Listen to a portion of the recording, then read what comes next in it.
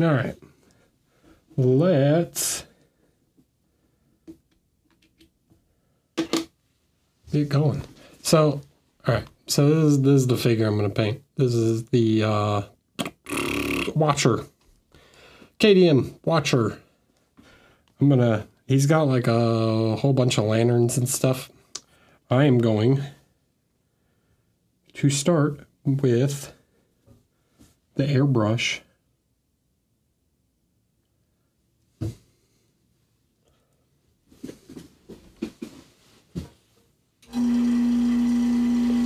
We're going to make some noise.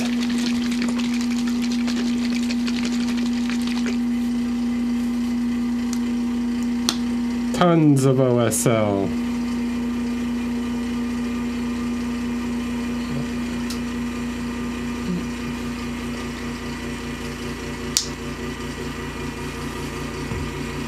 Just using some gray primer.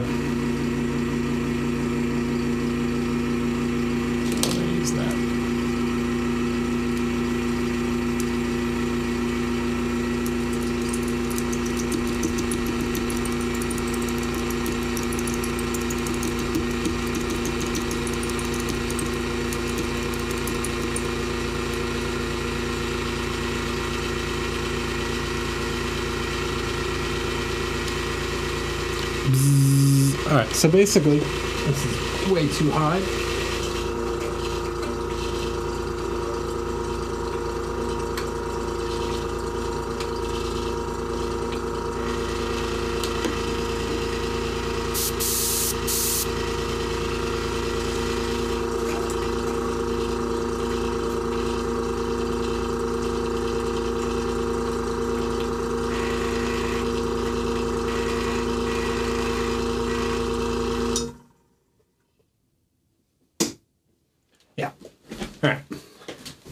Good evening. So I'm at like 20 psi or something, roughly 20. So the idea is we're gonna have two alternating colors. So we're gonna do like the tip, the contrasting sort of bluish gray on top, and then orange light from below.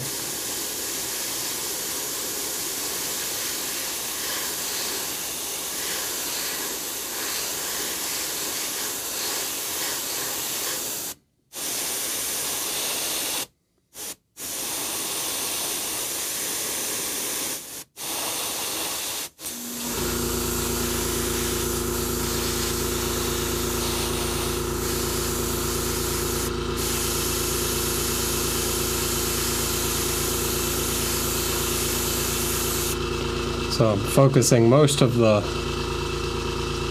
light uh, for the, the grayish tones up towards his head.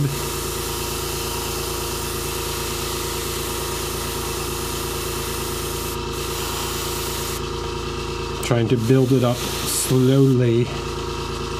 Right.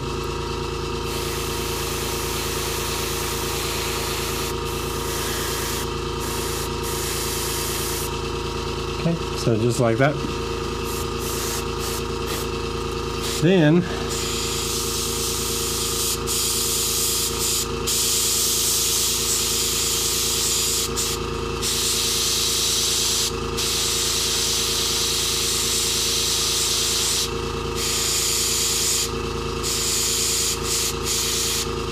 want to get all of these lanterns.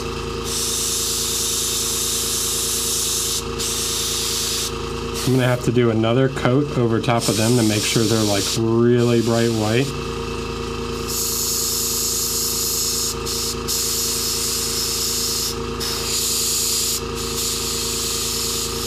But this gray primer will at least help give me a, a starting base coat.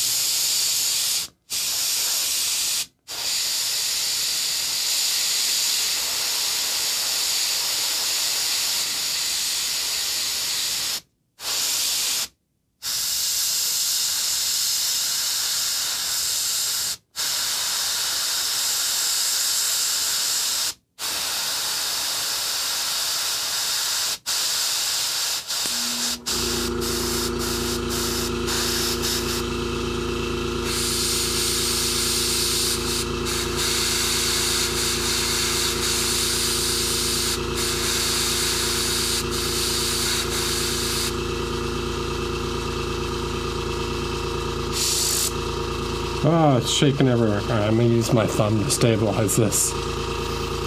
No, it's just uh, the Vallejo Gray Primer.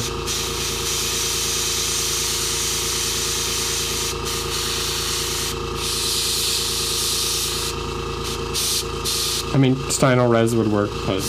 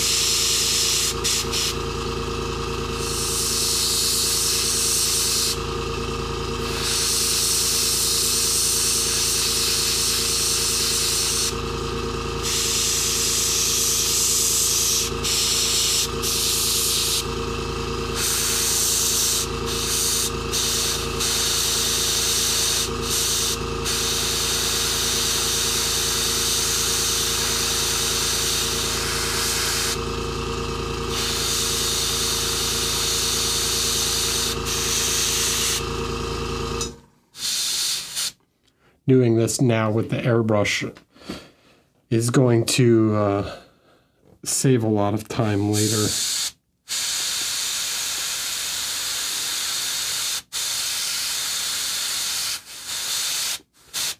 Basically, I'm making a um, like a grisaille with the airbrush instead. It's like kind of like zenithal priming, but trying to be a bit more controlled with it.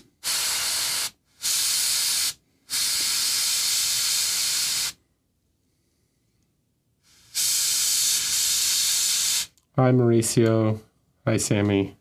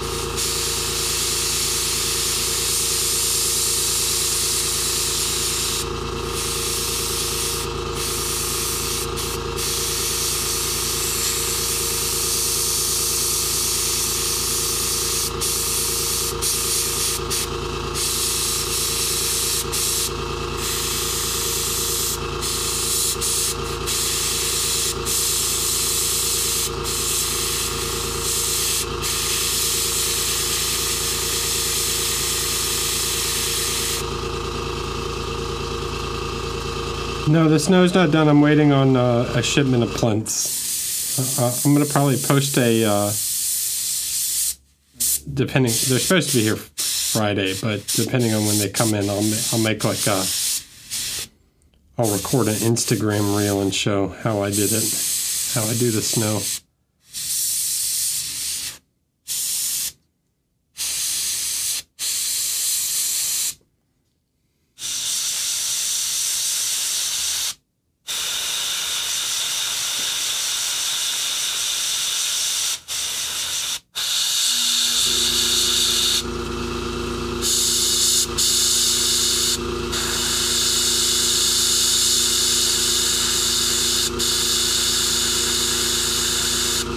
Right, so we're trying to I'm trying to build up the layers slowly. I don't want to do this too much. If you build it up slow and kind of thin, uh, it's going to help not get so much of that like speckling you get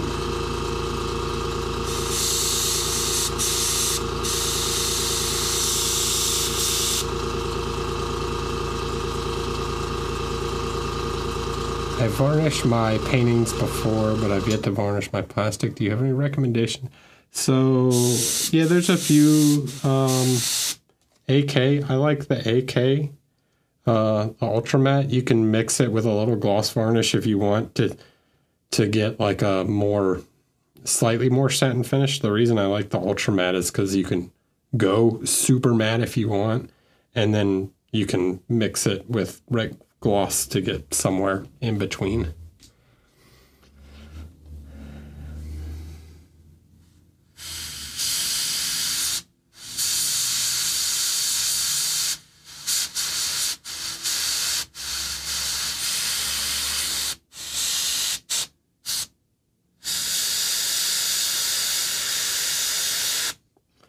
Okay. So now that I've done that, uh, I've got a pretty decent base coat on all the lanterns. Now I can start to think about like where the actual lanterns would shine. So I can kind of approach the lanterns from like here, thinking about like what direction the light goes.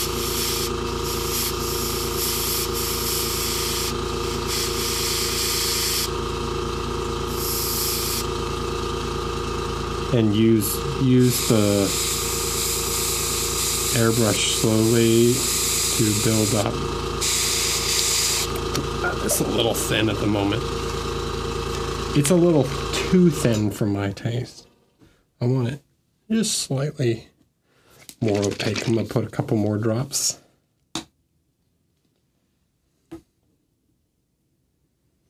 Uh, you you can apply it in a pretty thick coat. You don't have to be like super careful with with applying the varnish.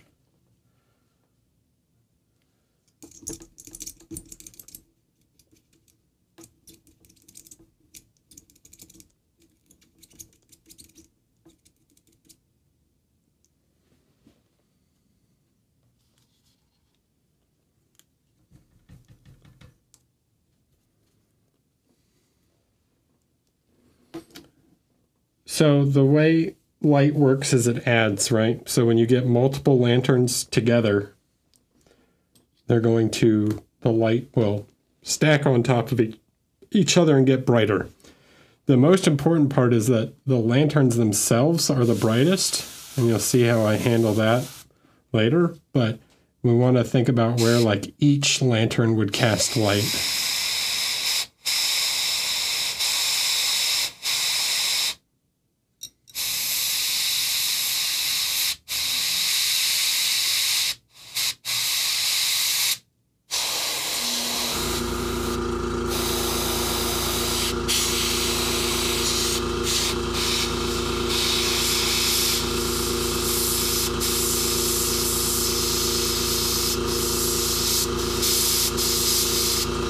This is a little, a little high. So if you get, if you're getting that spider webbing thing where the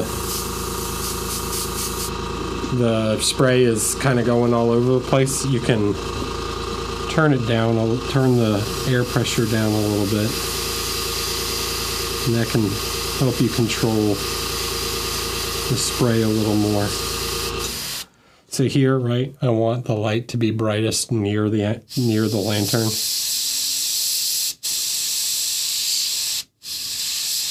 But also the bottom of the lantern is closed off. So it wouldn't cast light, right?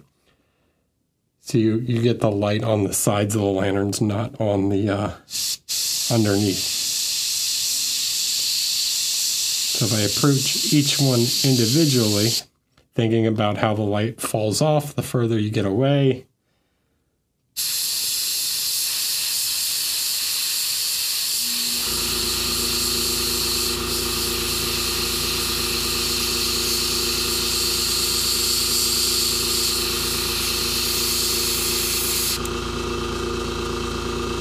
something like that. I know in between these two lanterns is where it would be really bright because you're getting light from both of the lanterns.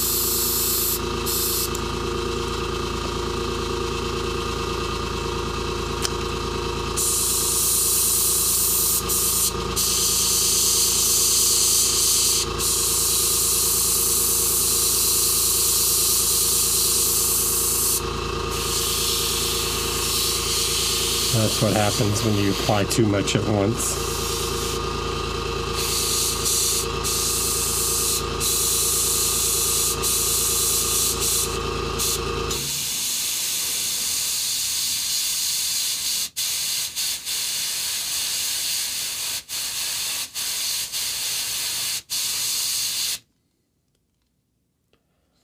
And then apply some to the base.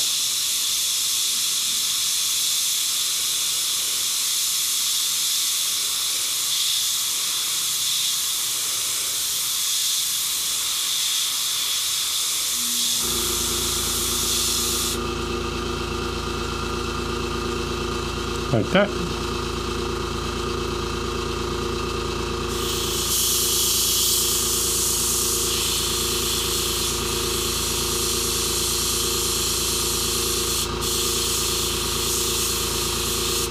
Oh, I'm sprit spritzing. I got clogged.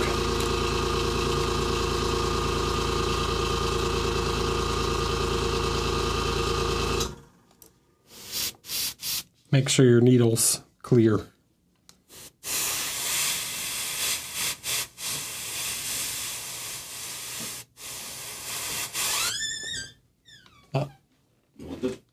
They got a package?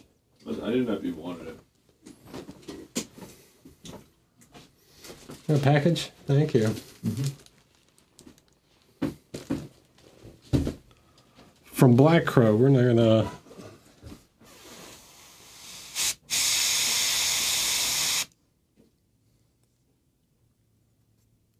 Like up here got messed up, but I'll just cover it up later.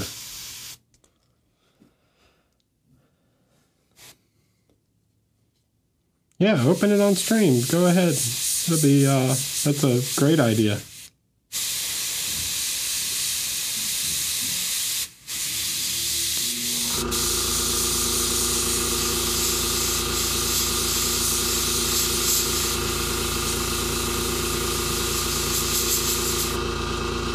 See, so trying to apply the uh,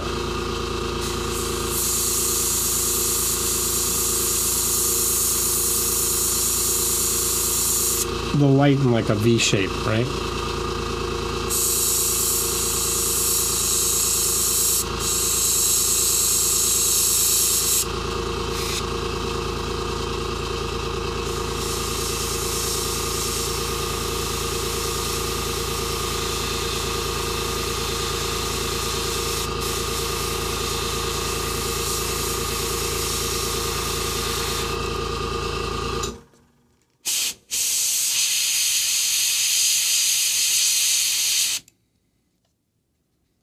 Oh yeah, I definitely trust you guys to keep a secret.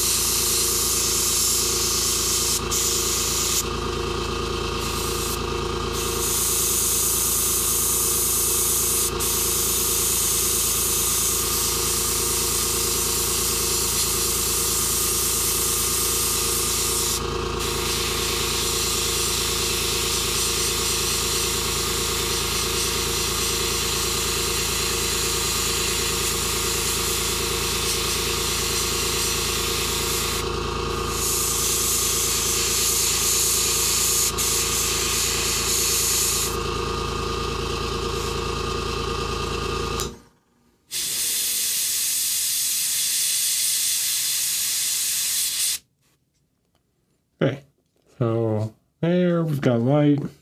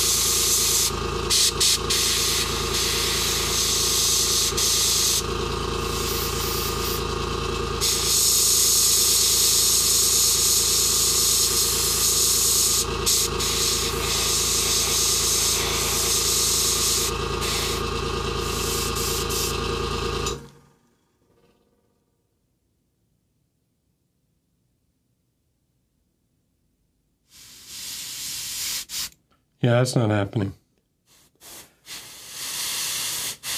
You, you can forget about me painting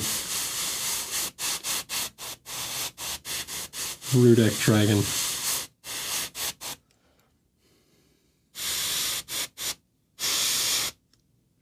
No way.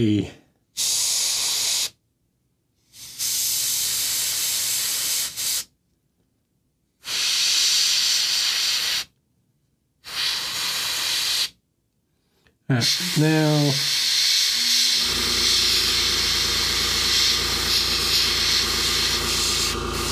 just get a general amount of ambient light from up underneath.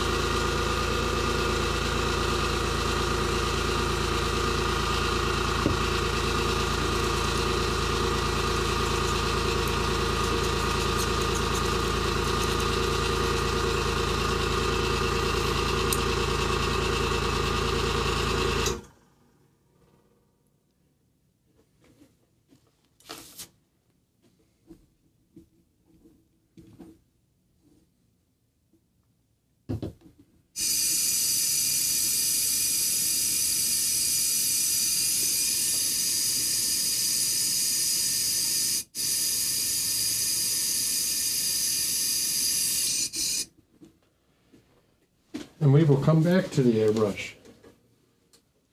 But now we can do some sketching to refine the sketch.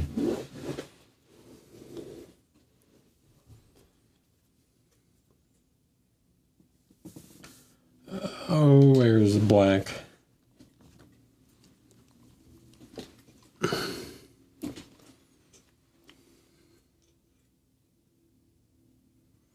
Okay, some black. And I just need some kind of sky gray, whatever. Any kind of gray will will do. I'm just looking for the correct value.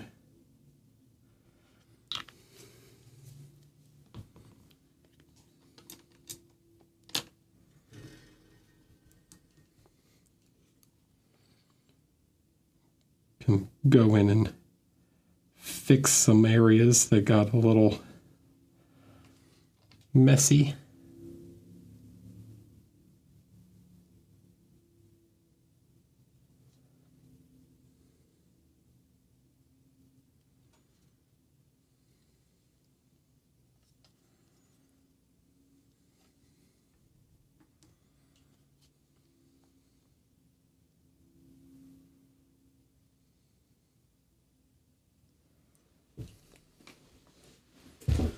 So like some of this is got a bit rough. I don't want it to be don't want the base to be super bright. I'm actually going to take and water this down and just kind of apply it as a wash to get it in some of the the cracks and stuff of the faces.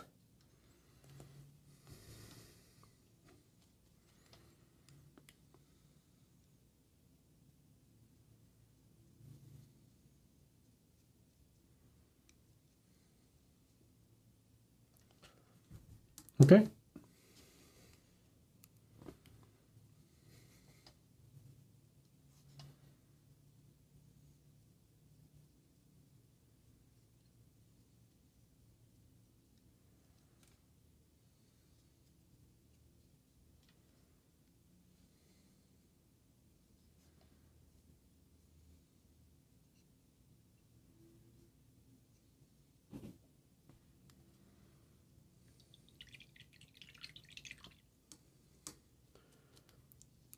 Simple, simple bluish kind of top light, orange from the bottom.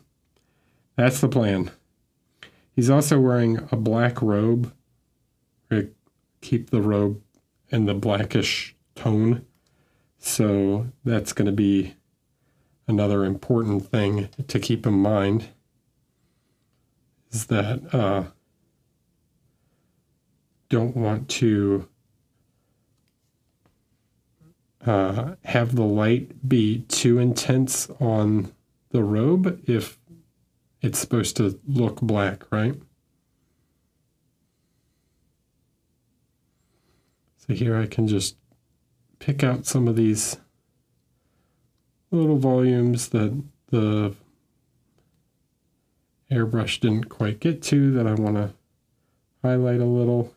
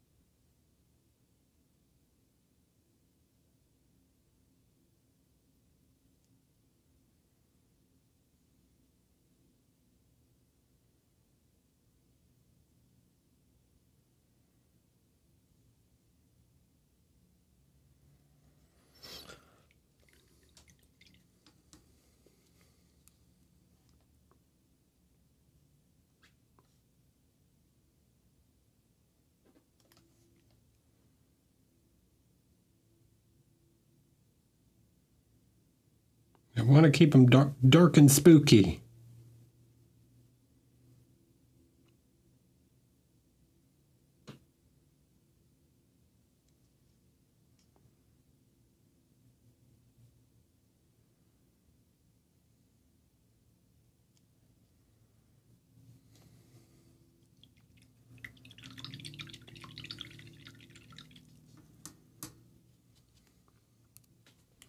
Okay.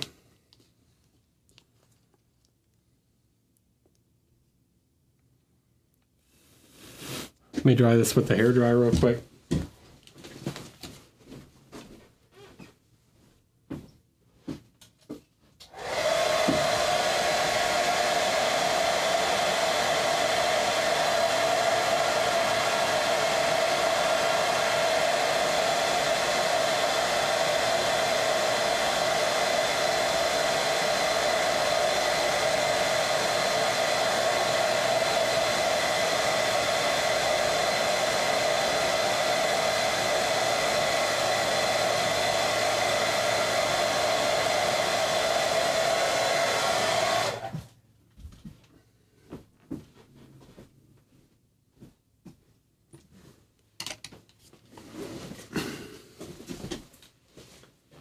All right. So now I'm going to use some overcoats.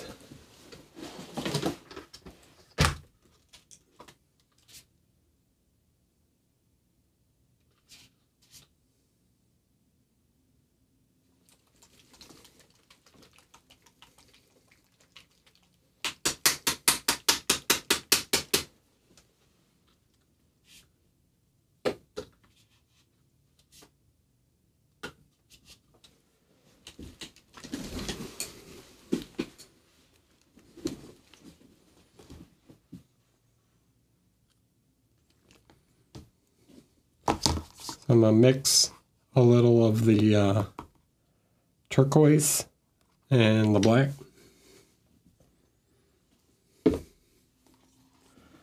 Turquoise.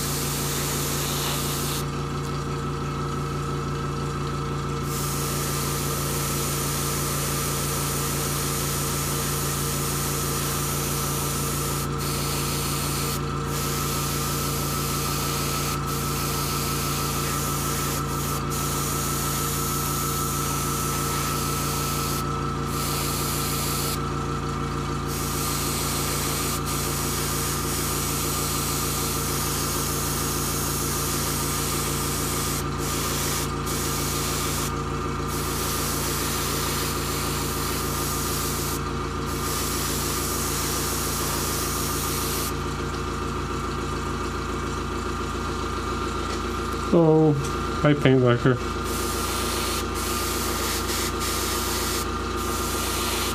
So by spraying the contrast or the express color directly over the the grisaille, right? Grisaille is the the black and white sketch. We can get a, a quick effect of the uh, the color on top of the gray, right?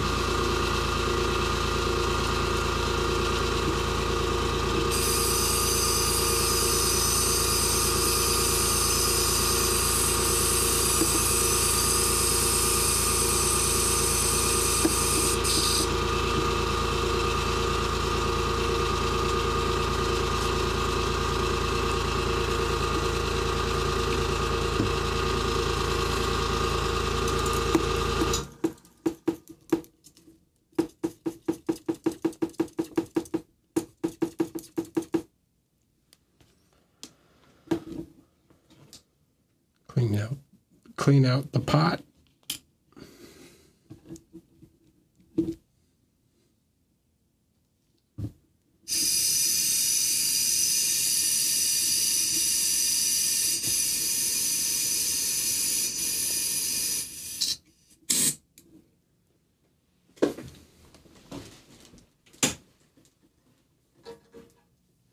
Okay, so that's that part. Now let's get a little fancy with something. Let's do let's do something a little a little fancy.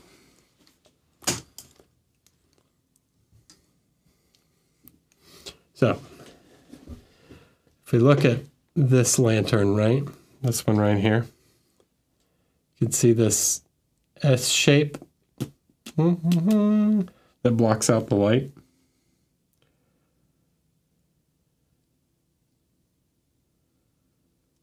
Can take a grayish mixture I need a really pointy brush for this.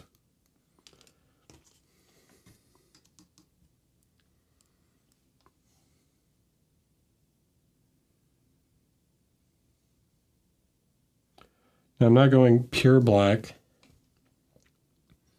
but with a gray.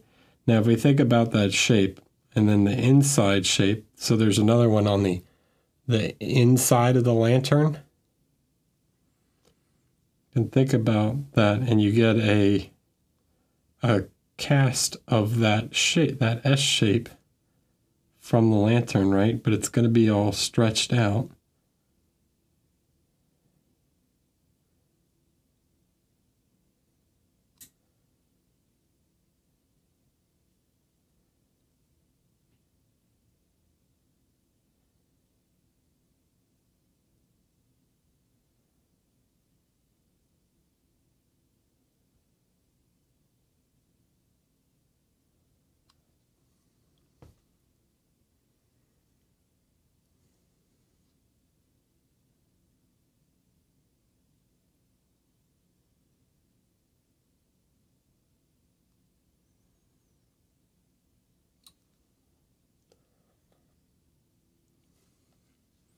Something like that. And then as it comes down and around,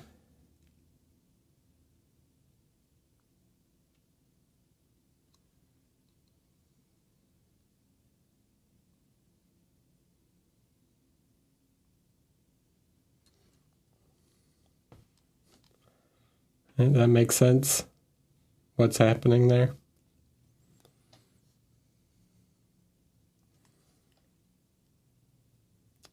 And then the other side would do the same thing. But think about, right? It's got to be the same as the other one. So here you get kind of S, S shape. And we'll clean up the, the shape.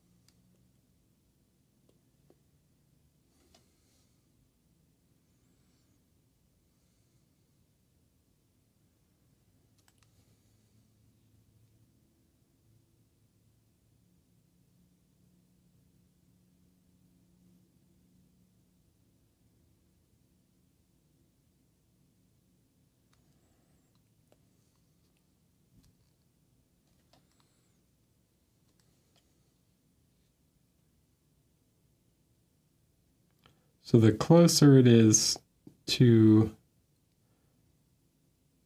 the lantern, the more defined that that thing's going to be, right? And then the further away from it is, the blurry it'll the blurrier it'll be. So as it goes further away, I want to soften that that shape some.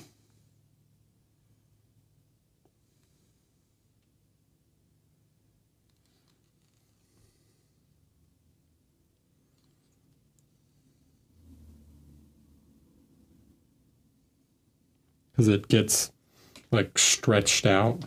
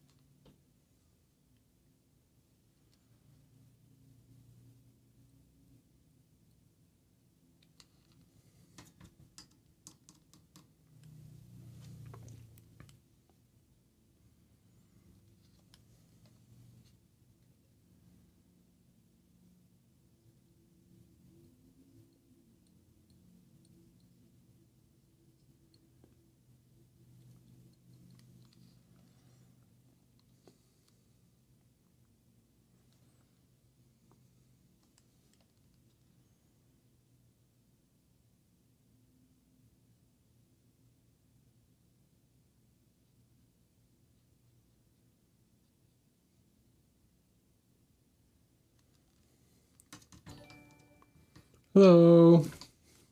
Nearly an engineer. Thanks for following. Welcome.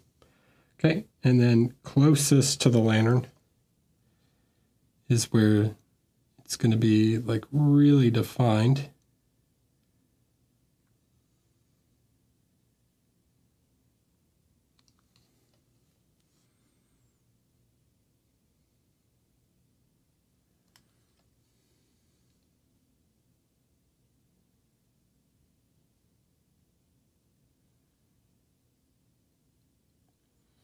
This should actually come like right underneath the lantern.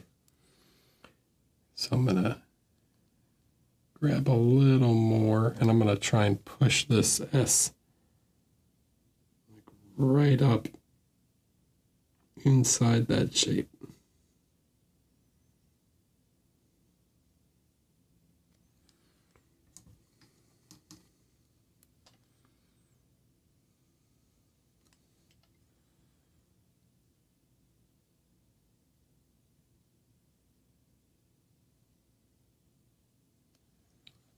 Something like that.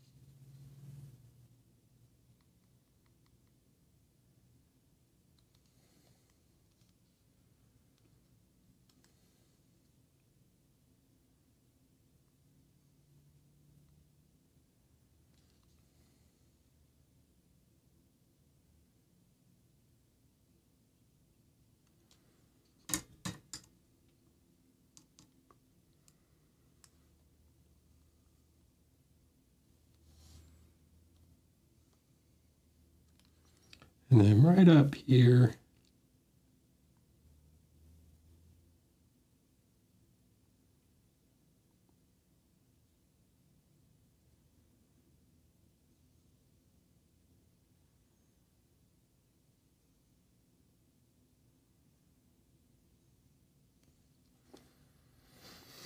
Right, so you get that V, that kind of like double V shape as the light pushes outwards.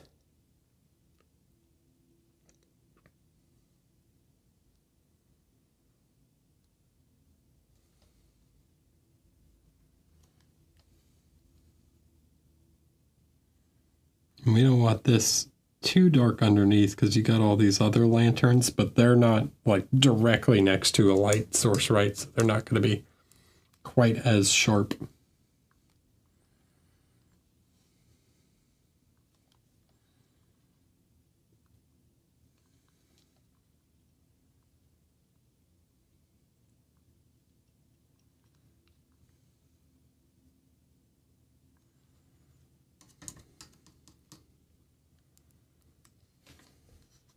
Like these are these are too far from this right? This is very far to make that shape.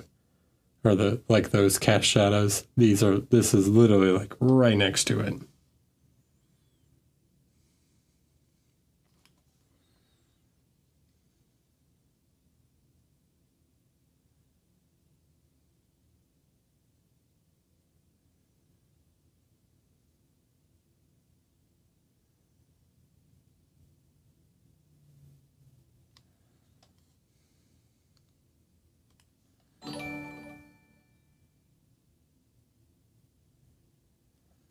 Hello.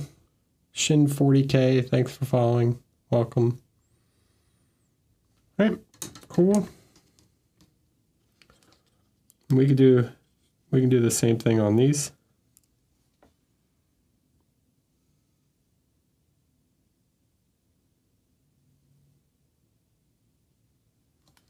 All right, so if they're all going the same direction, so if the S goes this way, you get the opposite S going the other way. Right? So the S would start like right here. And then it would get stretched way out and it becomes wider as it goes.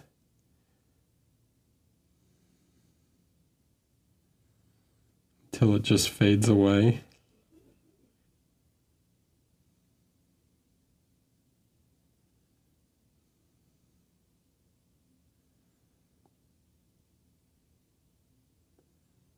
And then gets more defined as you get closer. And and then it'll get looser as it fades fades into the distance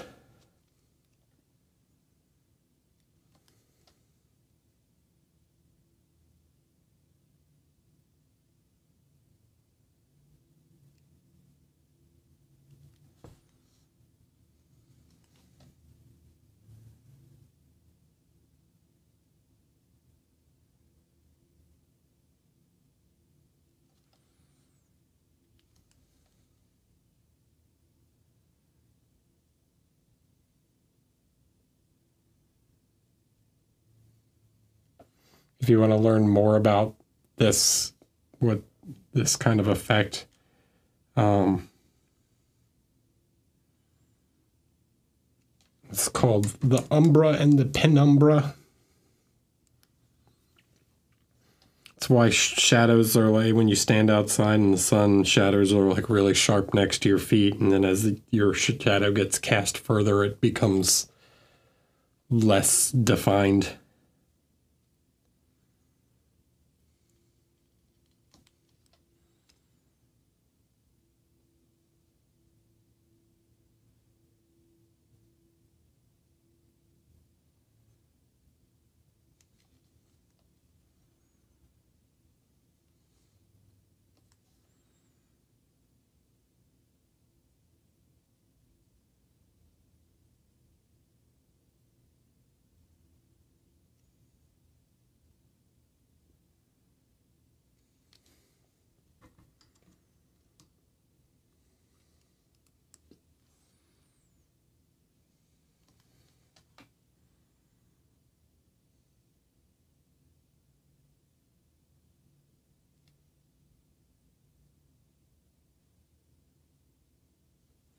That one doesn't have to be perfect.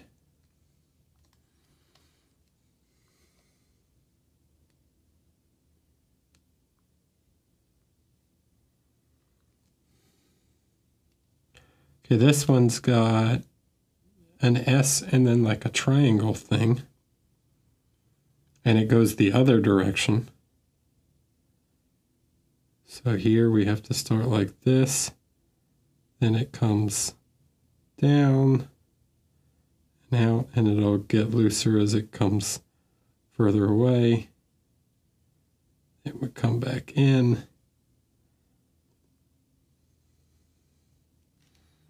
And then there's like a uh, little like three line thing.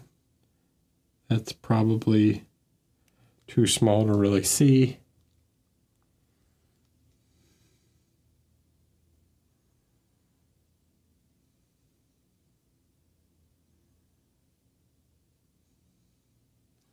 Then eventually these shadows would like stack on top of each other.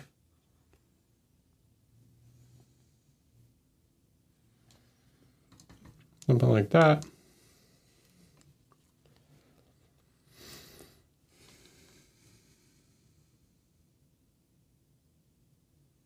Just remember that the light, if you try and do this, just remember that the light would act like a mirror so it would be reverse of whatever you're seeing, right?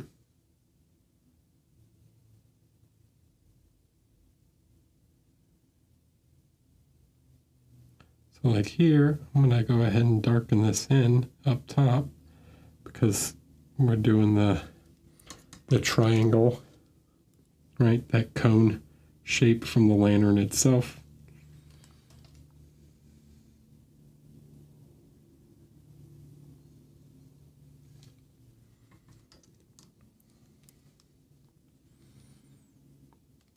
All under here would be dark.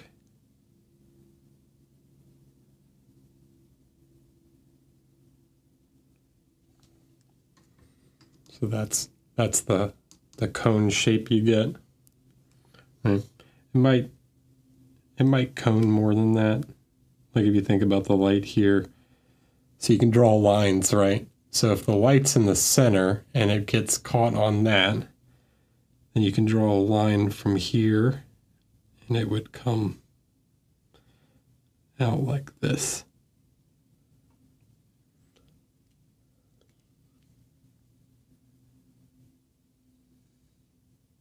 Same up top, catches this lip, doesn't have, can't go any higher.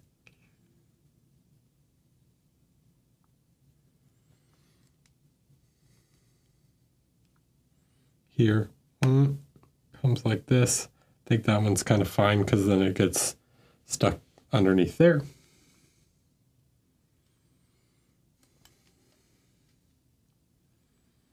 And then this has the reverse so here it comes up, and then as it comes away, eventually fades out. On this side of this fold, it can't even really see this. So this here would kind of be in dark.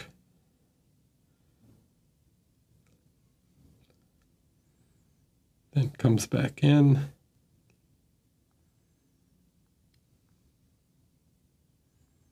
Comes more defined, then stretches back out again and creates these little lines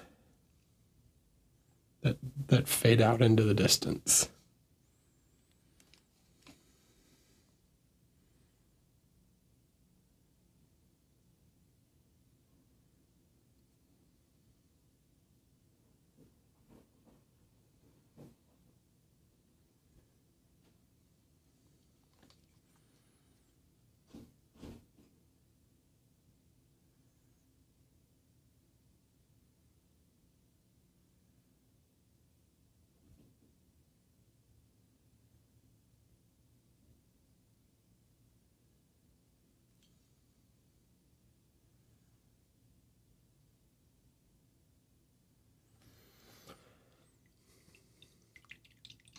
Oh, makes sense.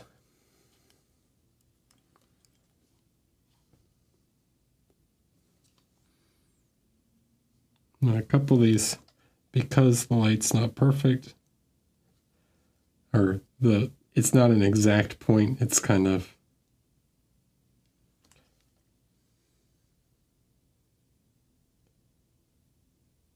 dis, uh, diffused by the the shape of the or the glass. If the glass is slightly foggy, you get softer shadows. So I can give just a little bit of extra light near the, the inside.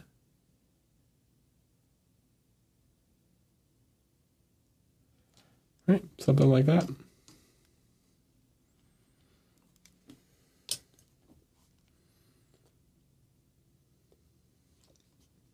Cool.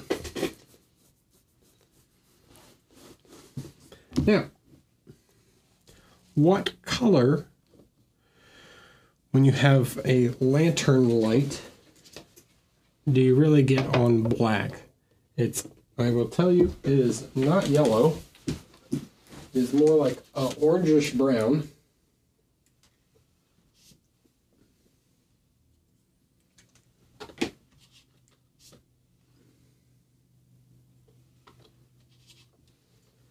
The lanterns will be more yellow.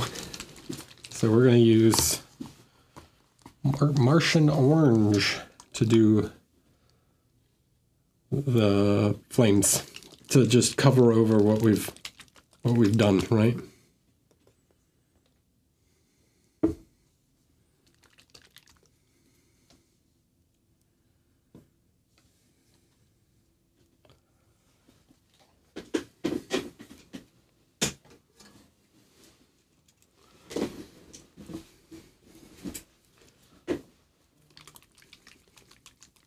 Because these paints specifically are transparent, we can paint over top of the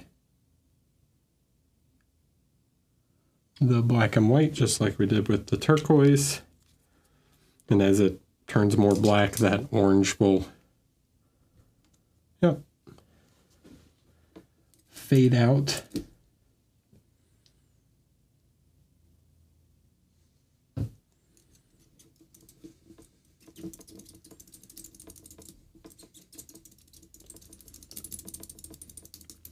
This is going to mess up because I'm going to be spraying all over the lanterns. This is going to mess up the lanterns, but it'll give us a kind of orangish base coat. Then we'll paint back over the lanterns and then make them yellow.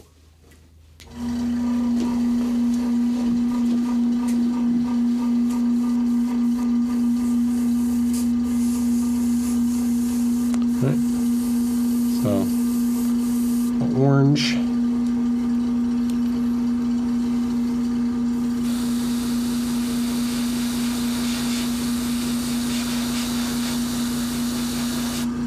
So it just goes right over top.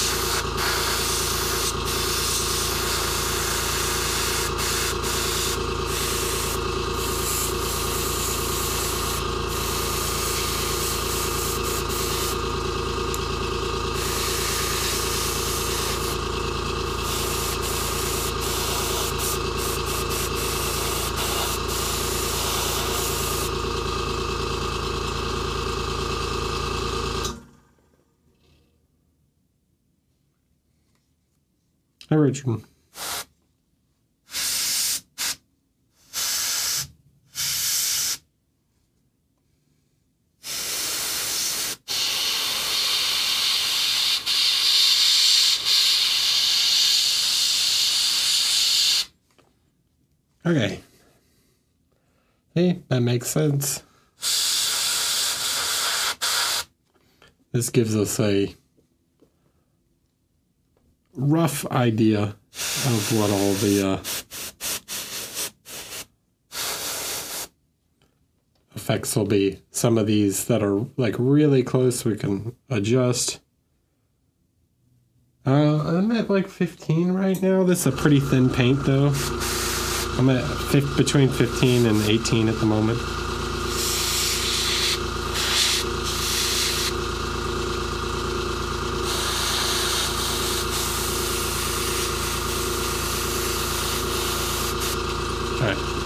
Now, I do want just a little bit more of like a brownish tone. I'm gonna grab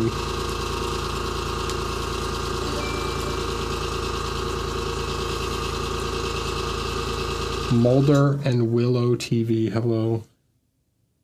I want just a touch of this uh, Cavalry brown color that's a bit more of a reddish, reddish brown. I'm going to thin this way out. Now this one is going to have coverage, so I have to be careful with it. This will affect the blacks, but I want to get some color in the like really dark black areas. And this will help fade out some of that orange, orange to black and give me some, a little bit of transition.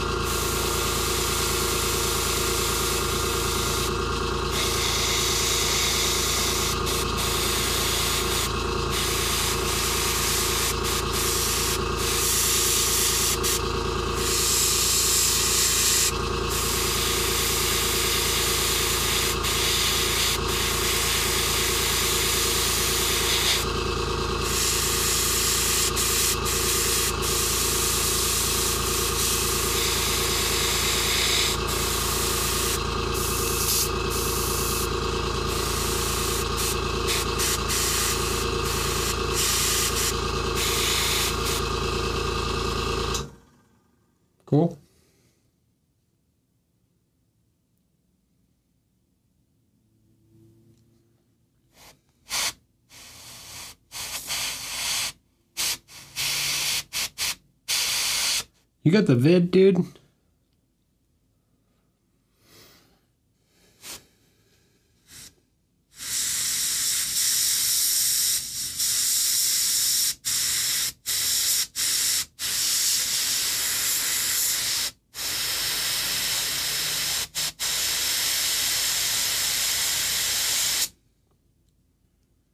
Okay.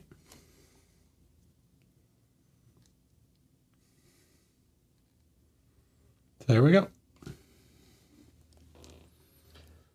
Now, clean this guy out. Then we will re-base coat the lanterns and work on uh, making those nice and bright, which will help really solidify that effect. I'm actually gonna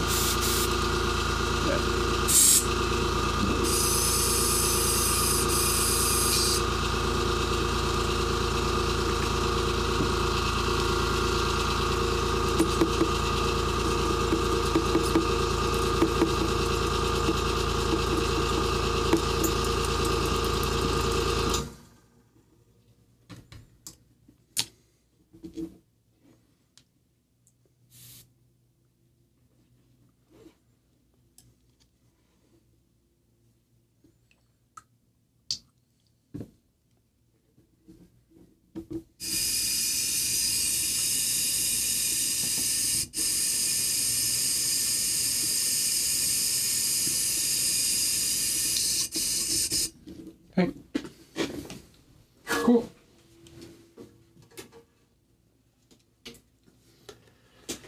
All right.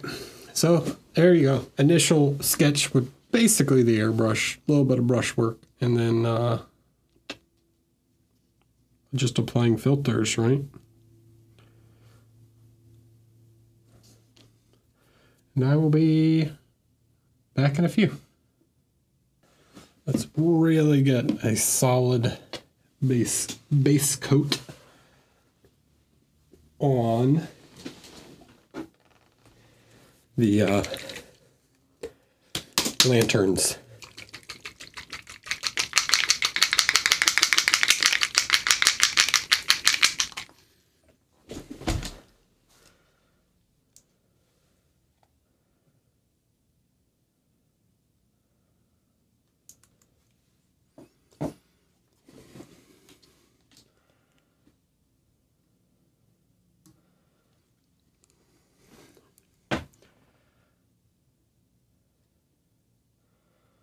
I know it looks whitish now, but we can we can do even better. So we want the lanterns to be extremely bright. They should be the brightest thing on the whole figure.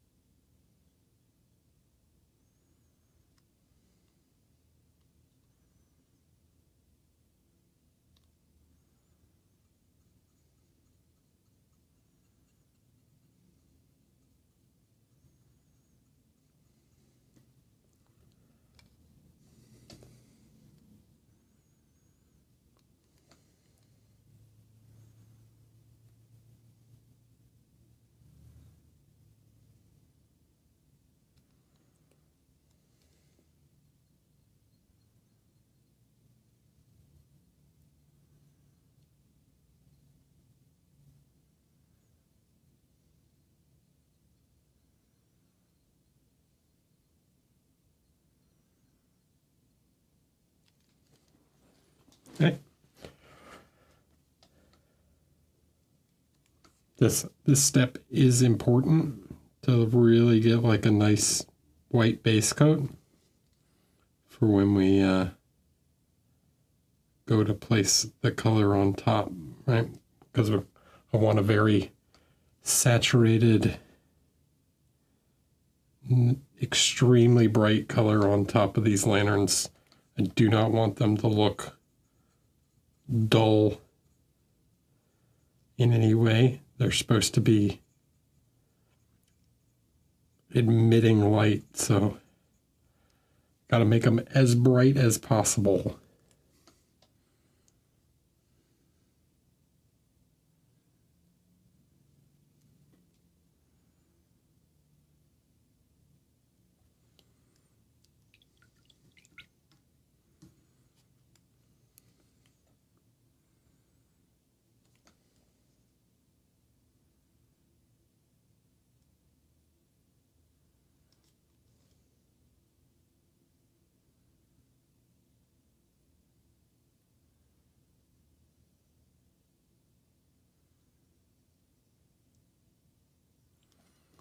It might might take more than one coat to really get them white.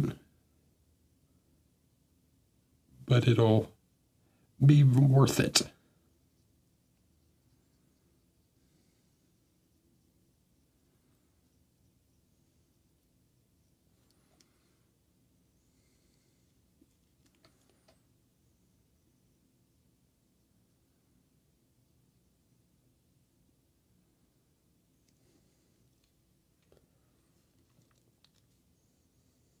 Okay, make sure I didn't miss anything.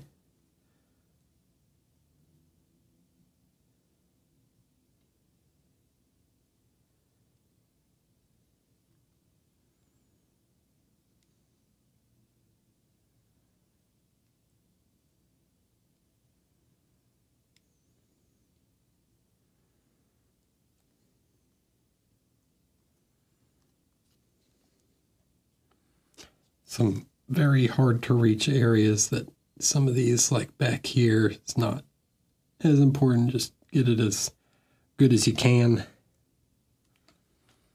If you can't see it without turning it at some crazy angle, it doesn't matter that much.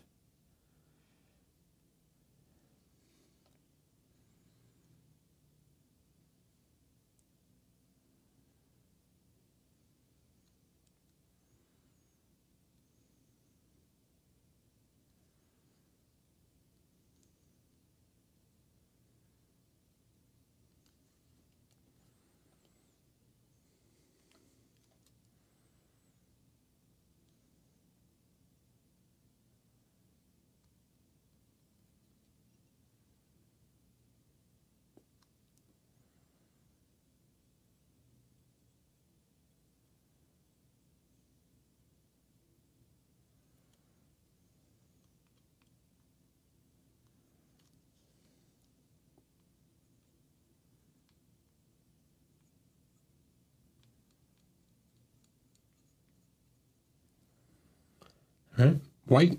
They're very white now.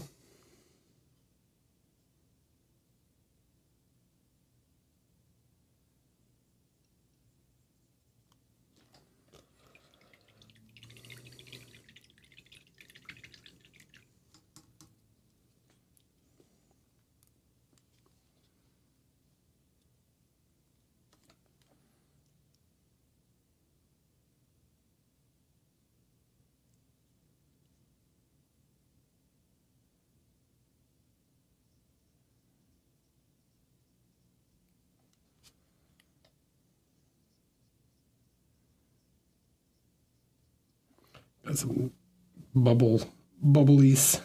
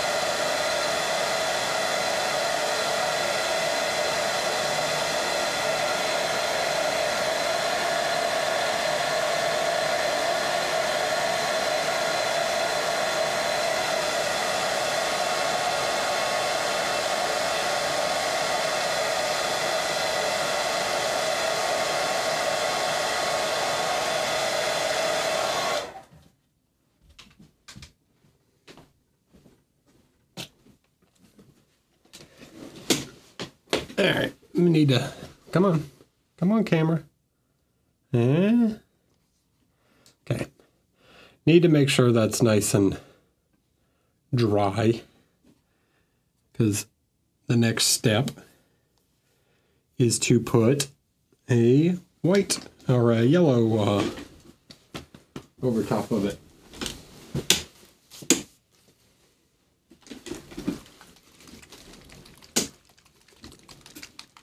So I'm going to use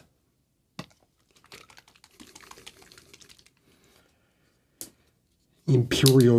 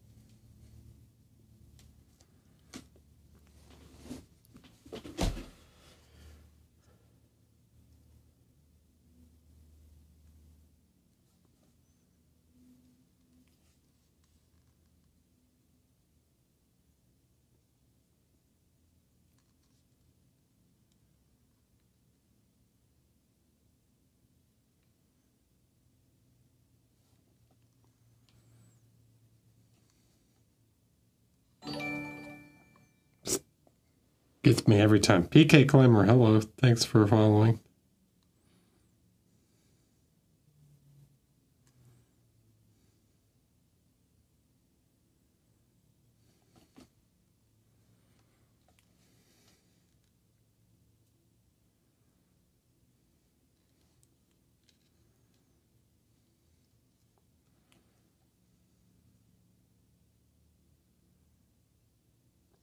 Okay, so just applying this yellow liberally throughout uh, on all the lanterns.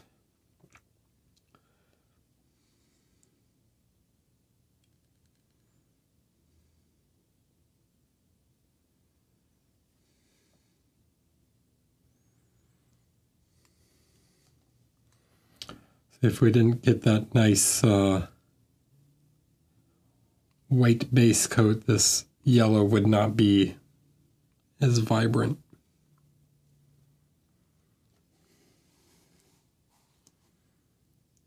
I get it all. Thanks, Chromium. Cool. Something like that. All right. Now, Now we can play with lightning of all that's drying in a few spots closest to the lanterns. I'm going to grab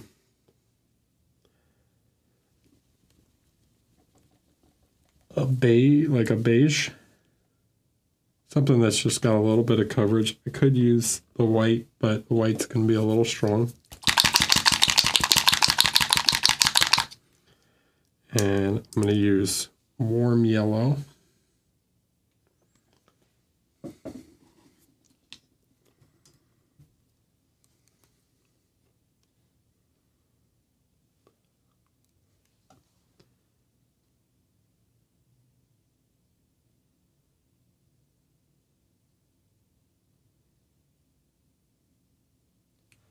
nice and nice and thin.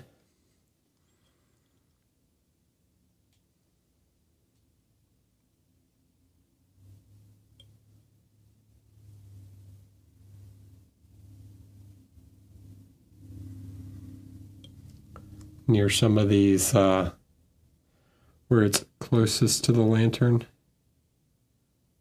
I'm just going to punch in the light a little bit more.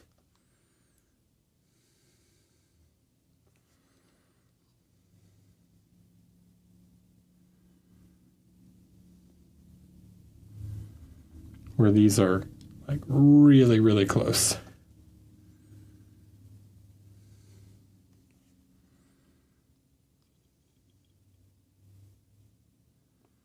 Building it up slowly.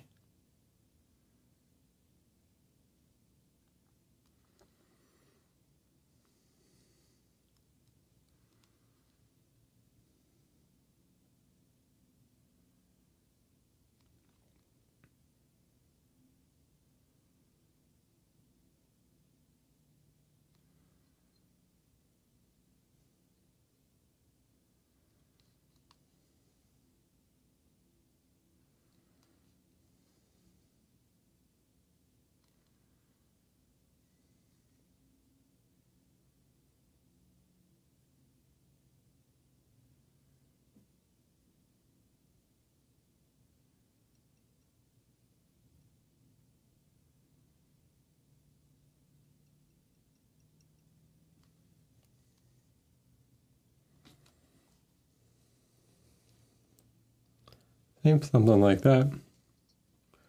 And here I need to come in at like a more extreme angle so I can get in almost behind the, uh, the lantern.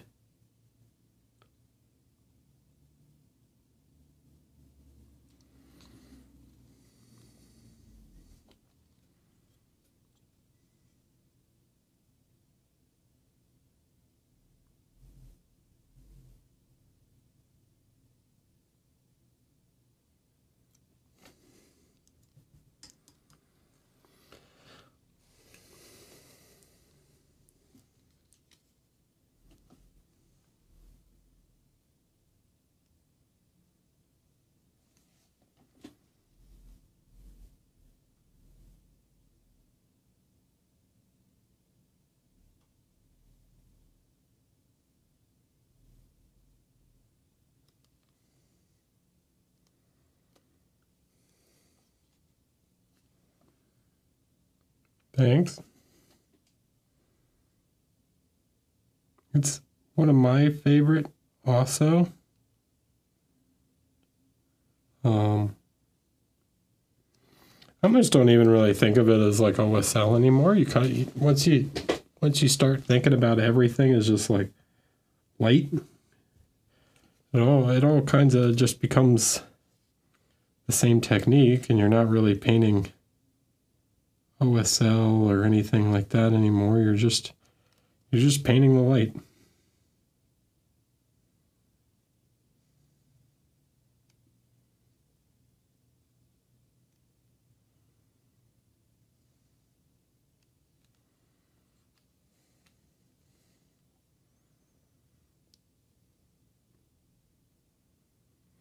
uh, this is just warm yellow mixed with some beige. Kimera, Kimera warm yellow mixed with a little bit of beige just to give, just to give some coverage, and I'll blend that out when I uh, with a little orange on top.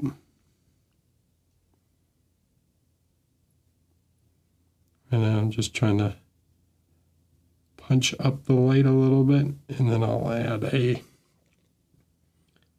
light, uh, blend blend the yellow into the orange a little more.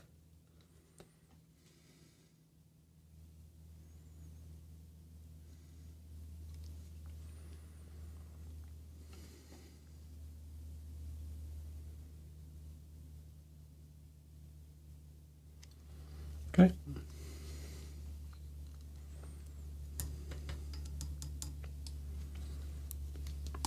Now I can grab some kind of orange here. We'll just.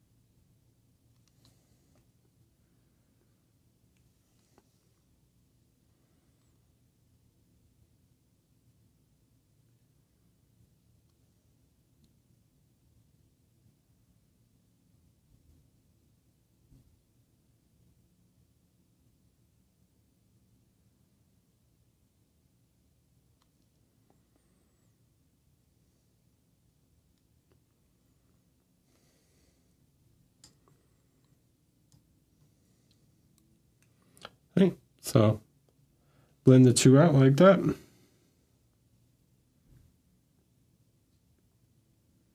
If any part needs to be, if it's too abrupt, I can just take in a lighter color and glaze towards the light source, right? I'm going to glaze towards the light source because then I'm depositing the most amount of paint where the light is. So I'm making uh, more more opacity in paint at the the actual light source and not the other way.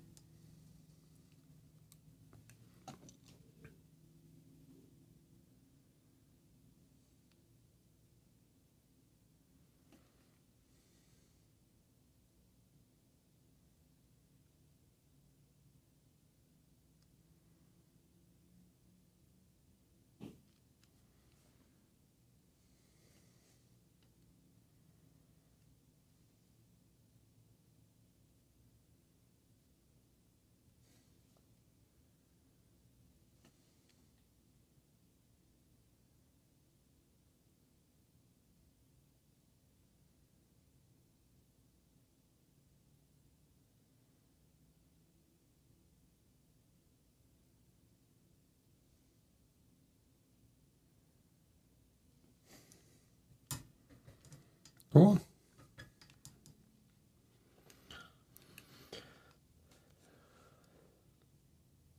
Is it looking glowy yet? Is it is it properly glowy?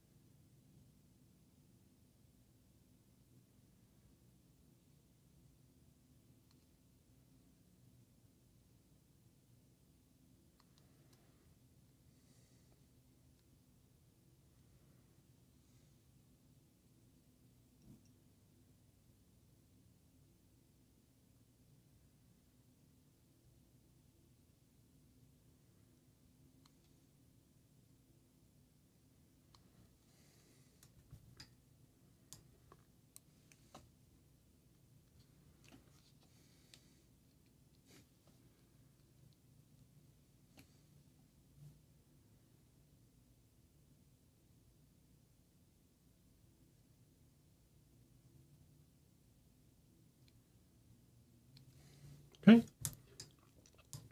You can do that as long as you want. Just just keep blending it out like crazy and refining.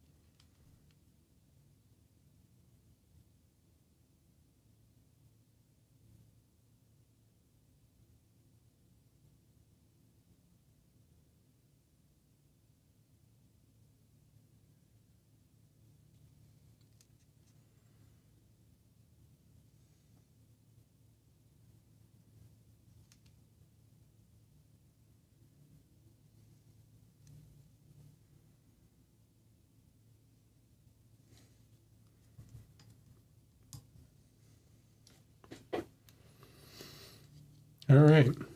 Now, what do we do about the little things on the actual uh, lanterns? Right? You might think, ah, paint it black. No, you don't want to paint the uh, the trim of the lanterns black because if you want them to look like what they might actually be blank, but we're trying to create a glow effect. Like, think of your, like we're taking a photo of the miniature or something. The light would be so intense that uh, the glow would extend beyond the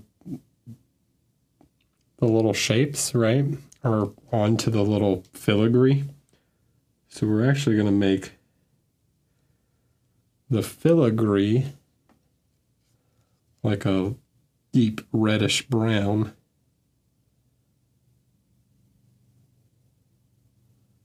That way the light looks like it's spilling on top of the filigree.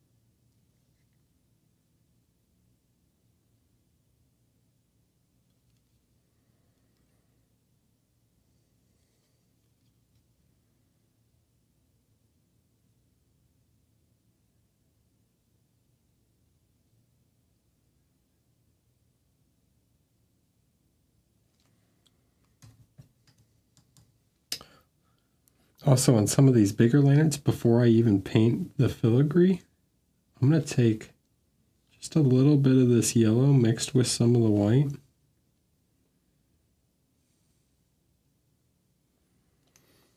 And I'm going to, in like the center of them, so not like the center of each panel, but like the center of where your eye would look.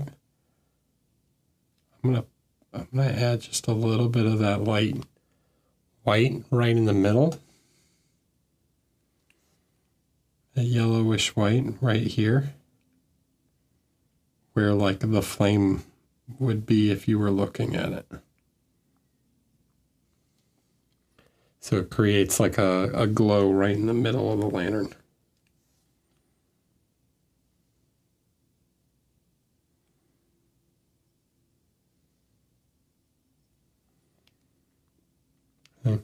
Like now it's even more intense.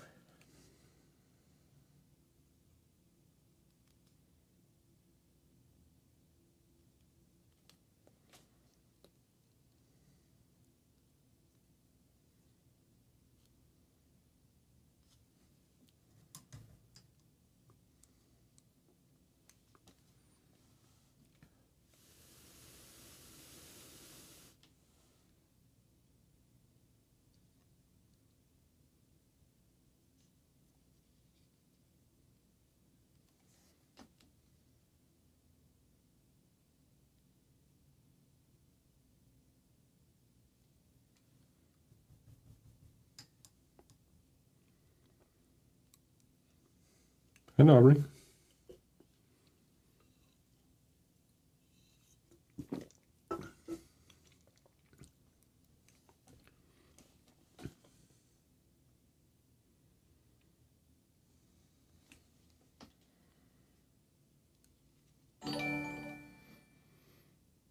Brashido, hello. Thanks for following.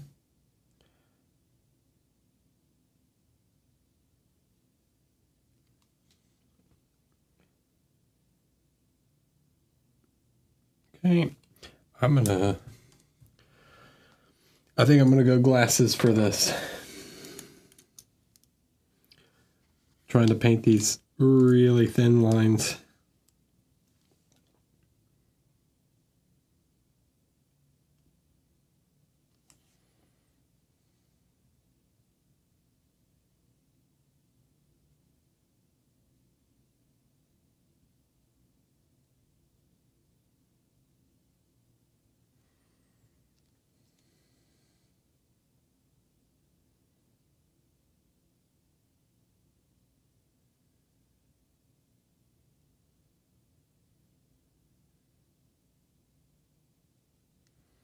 See, by not using pure black on the uh, the filigree, it makes it look like the light is like spilling over onto the filigree.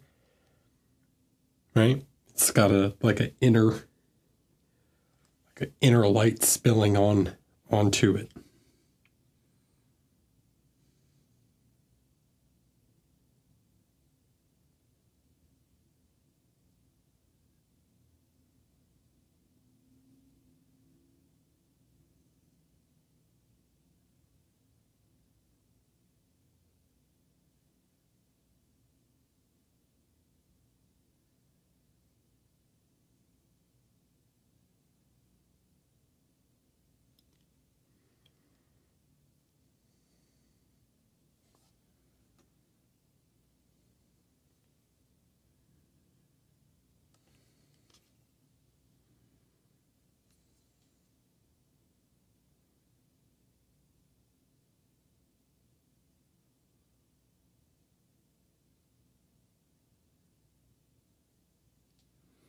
Thanks, Walsh Mogul. If you missed any part, uh, I upload the replays to YouTube. So if you want to go back, you can check out this and all the previous streams on YouTube. So, see, does that make sense? See how it it's so bright that it it looks like the light shining almost through, spilling onto the uh, the cage.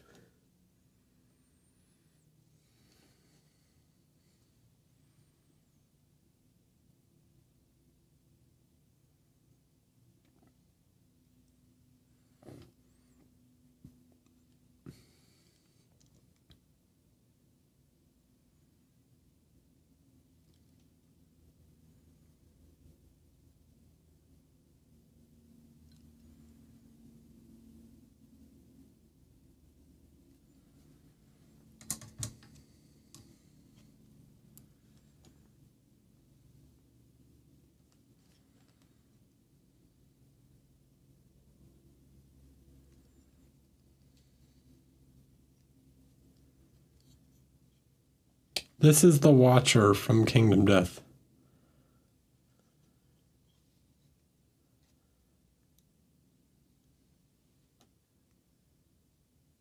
Exactly, Leaf.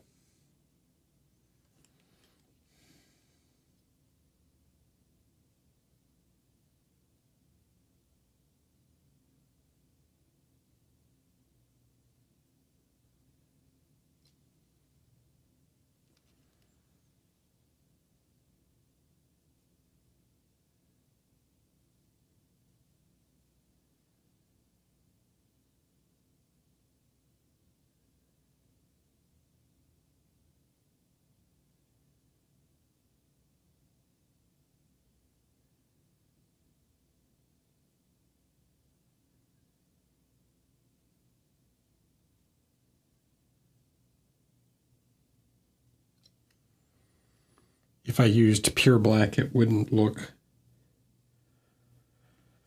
as glowy.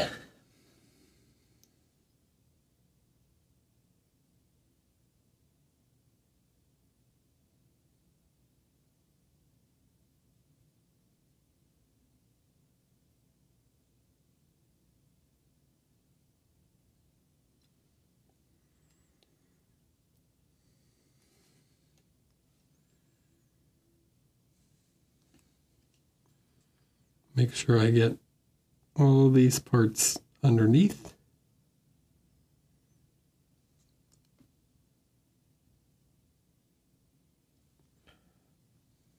The lip, you gotta flip it over sometimes so you can get this rim.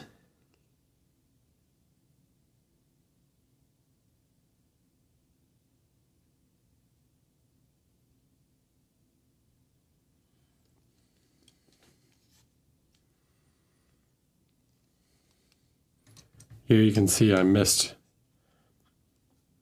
uh, when I was doing the, the color before. So I can take just some of the contrast yellow and, the, and some of this orange.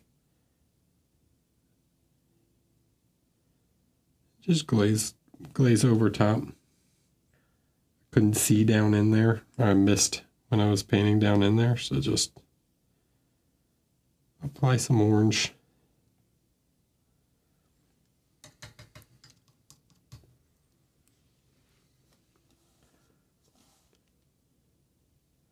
Maybe there would be a little little line or something from the lantern. Mix a little black and brown.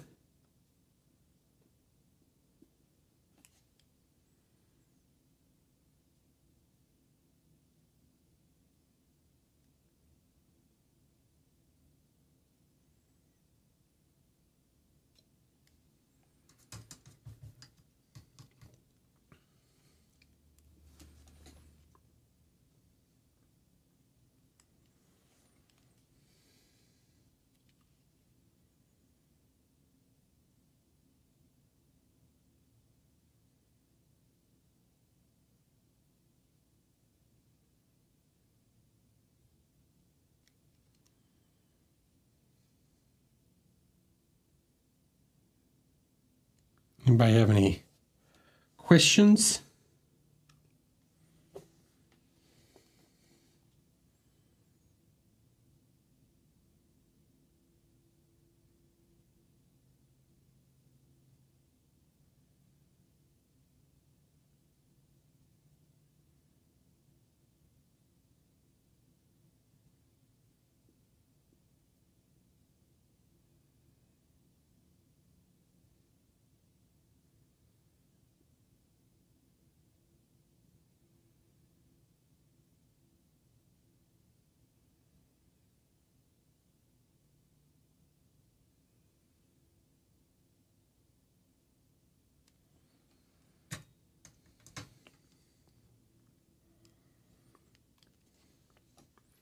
Basically, we did a, uh, a grisaille sketch with the airbrush.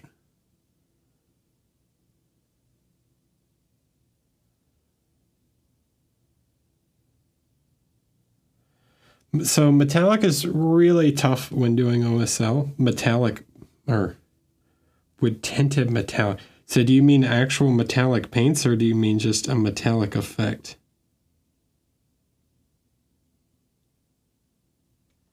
Because if you're talking about metallic paints, metallic paints are tough with uh yeah, so metallic paints are tough with OSL because they are naturally going to like be affected by your real lights and often they will look brighter than your OSL cuz you can never paint a light source to look as bright as what like a reflect a real reflected light would be. So I I've often find that um, non-metallics tend to work better with OSL effects.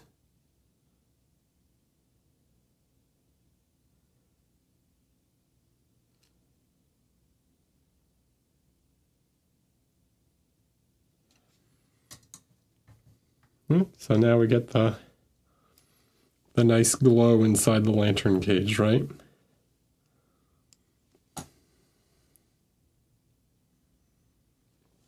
And if I want,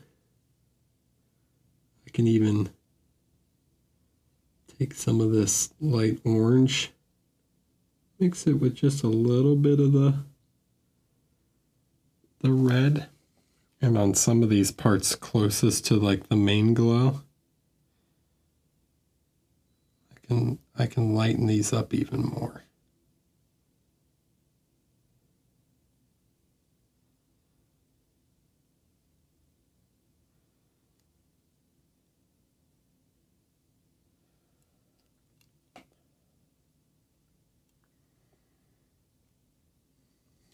Right.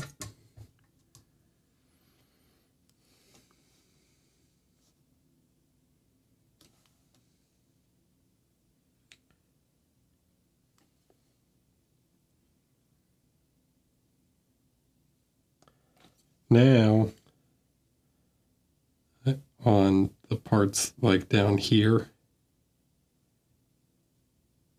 where I want this old iron effect, now I can add some little bit of little bit of black to the mixture.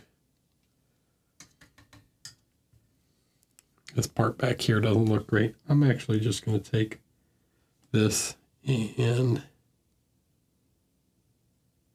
because you'll almost never see this. I'm just going to fill this in.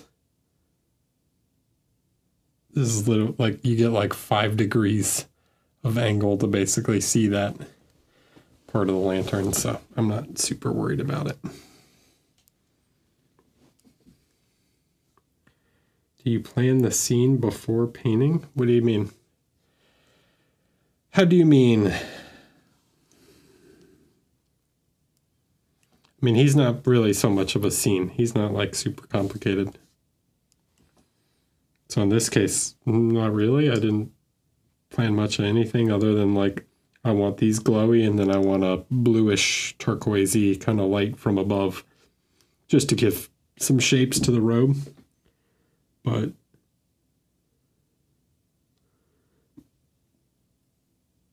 nothing nothing too fancy on him.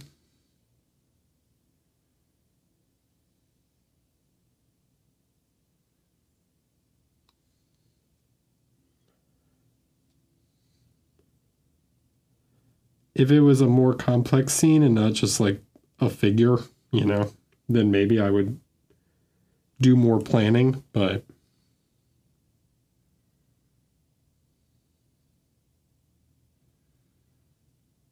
not too much going on on him to have to worry about all that. All right. Before I do that, let me remember to add some of this very white yellow back in.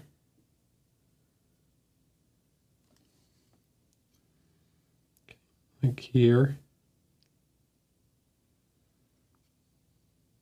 Right.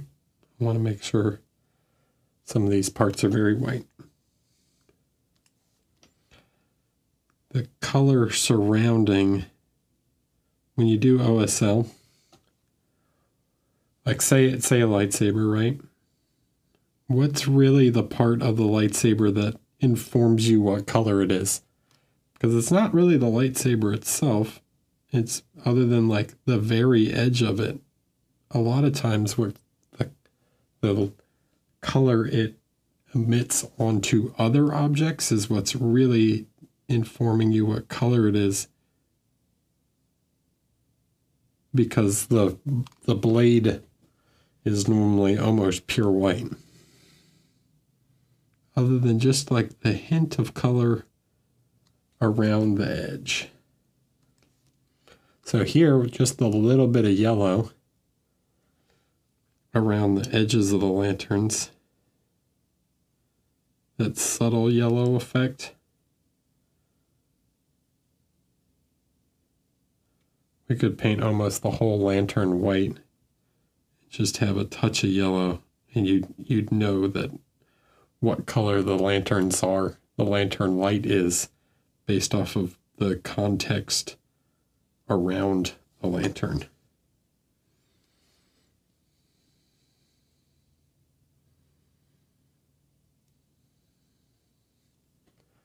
Does that make sense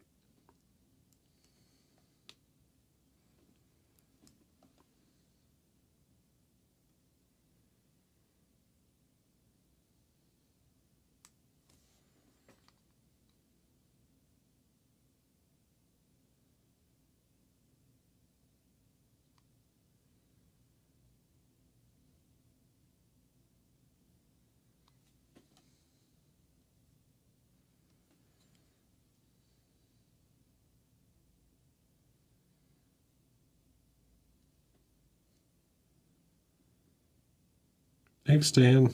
How are you?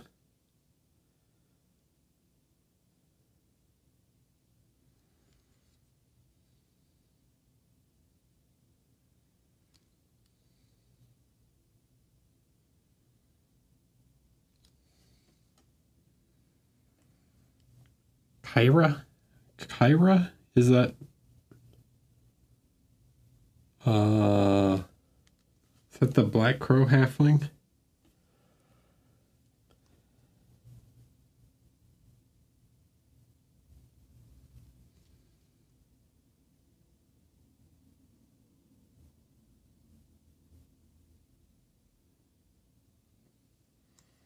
Hmm. I got a new black crow model in earlier. You missed it.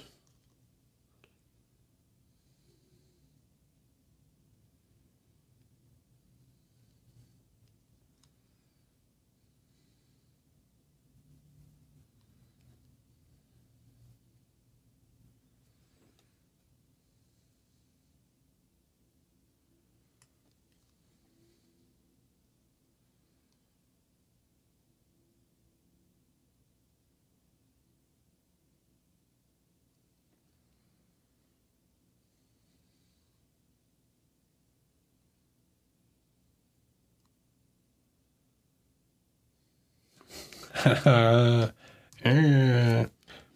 you dang right I didn't open the box.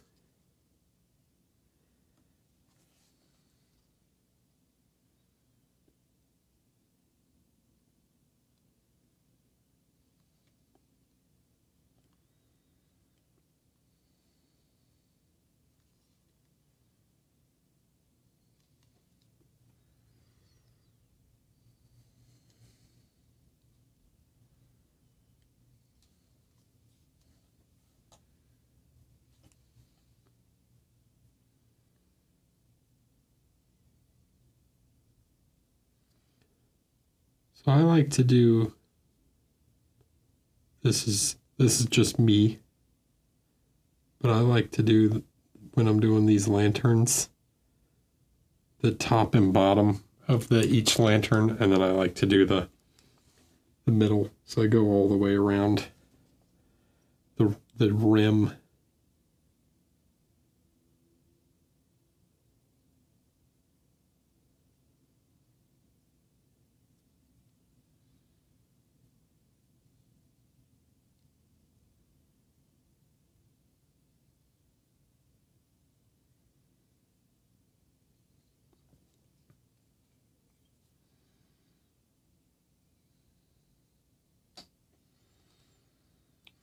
painting ketchup and mustard over here.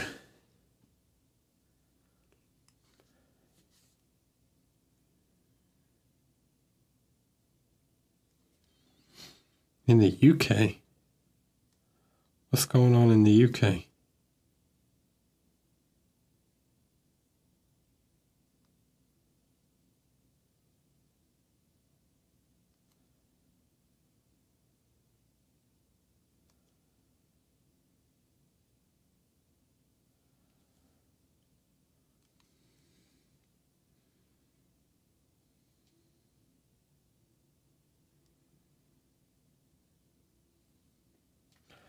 Ah, see, we found one.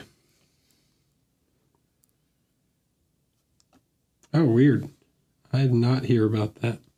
Right, let's grab some of the gray.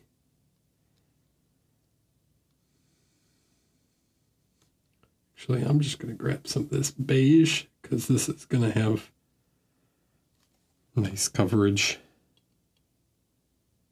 So I can just paint this part of the lantern real quick no matter what, without fail, one one little panel pane, I guess, of the lantern was going to get missed.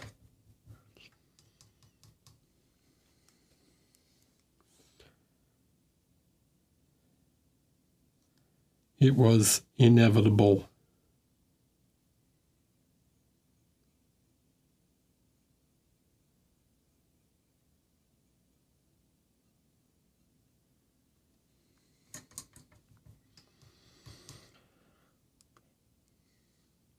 Missed I missed putting some yellow back there too. So we'll go ahead and do that at the same time. Way in the back back here where I can't even see.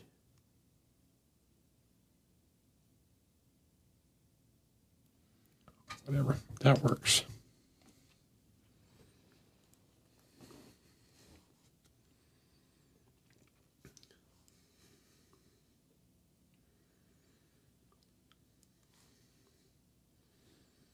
Let's zoom out for a second and just take a look. Okay, working. Still got to add more light to the head, but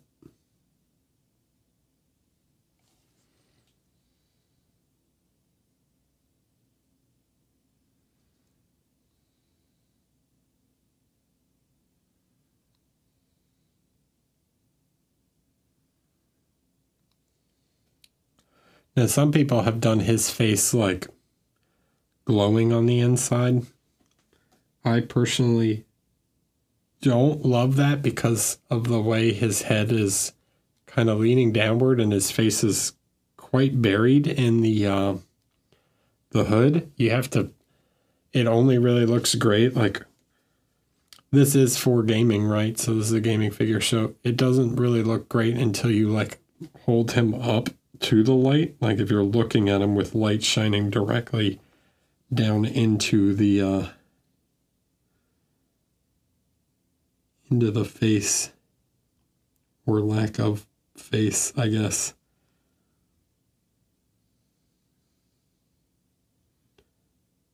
Very difficult to get a really strong OSL when it's buried really deep. Um, so, like if you wanted to do glowing skeleton eyes or something, glowing eyes in a skull, sometimes it's best to like kind of fill it in with a little milliput and then paint paint the, the glowing eyes. That way you're you're not combating the natural shadows as much.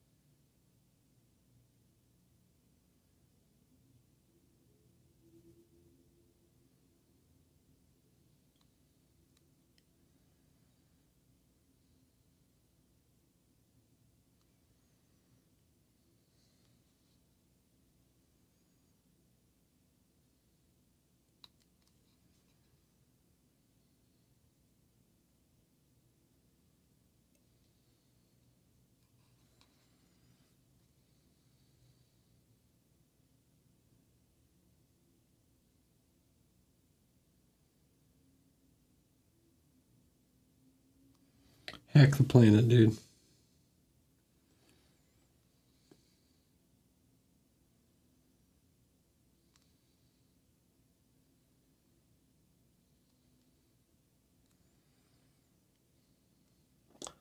I like the second. I feel like that's another major hacking recently. Didn't Southwest Airlines get hacked? Is that what happened? Or or did theirs just like crash?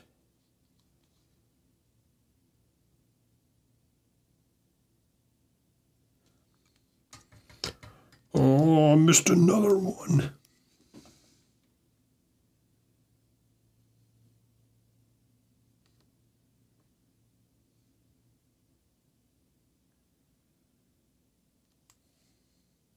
Oh, good.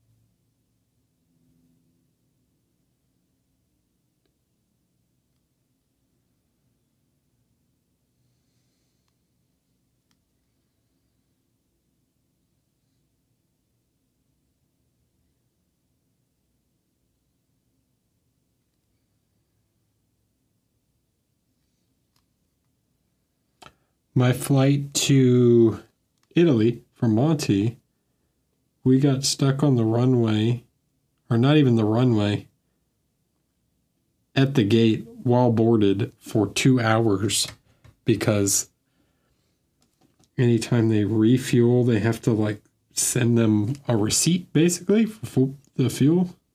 It's a, you know, legal, it's part of the law to keep track of, you know, we put this much fuel in before whatever taking off. Uh, and they were having trouble digitally transmitting it, the system to like transmit the receipt to the plane to say, hey, you've been, you've got this X amount of fuel, whatever, you're good to take off. Wasn't working. So they had to basically manually print out or write a receipt, whatever, for the fuel so that we could take off. And um yeah, they like didn't know how to do it. I guess it had been so long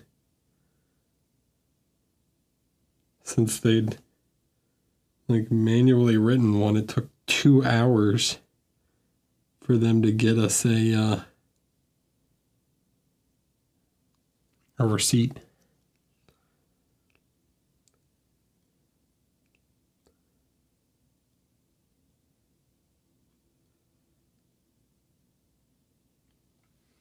It was awesome. I really enjoyed just sitting on the plane, not going anywhere for two hours.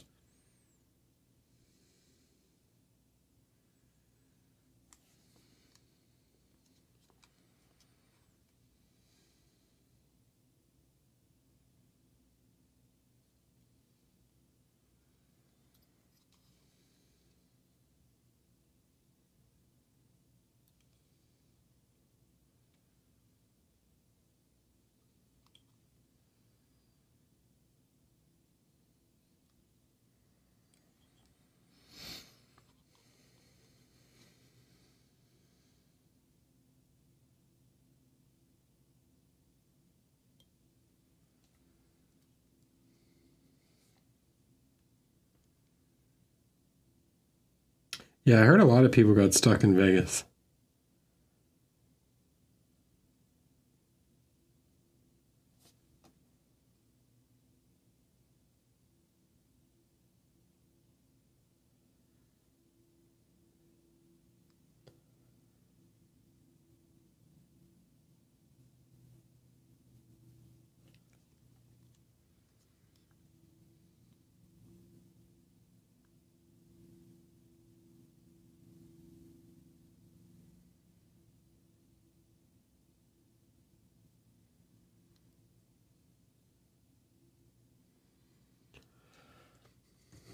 I've always said I, I love traveling. I love going places. I love teaching, going to conventions and stuff. I hate airports. I hate airlines. I hate flying on commercial airlines. If I ever was to win like the massive lottery and become a billionaire overnight, would I buy a new house? No, I'm happy in my house. Don't really need a whole lot, but I would fly private everywhere. Just roll up. I, I would straight up, like, don't care. Sorry, environment. I am taking my private jet everywhere.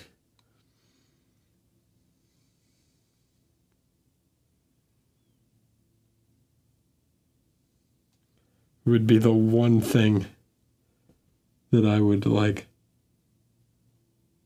spend an absurd amount of money on.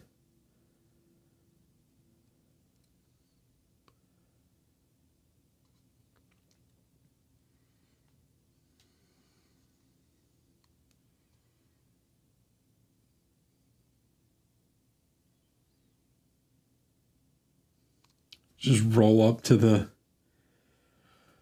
roll up to the airport in your limousine, get off, get out of the limousine, get on your jet, and just leave.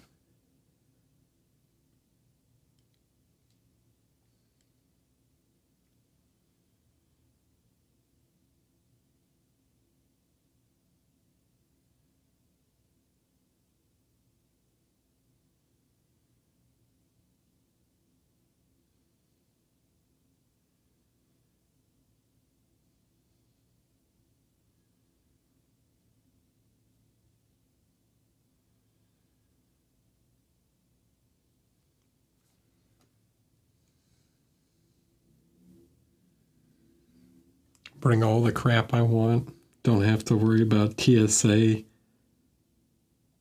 putting my miniatures through x ray machines and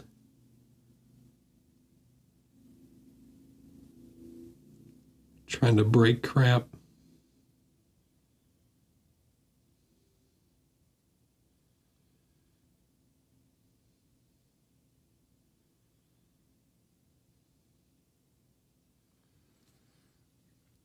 Balling, dude.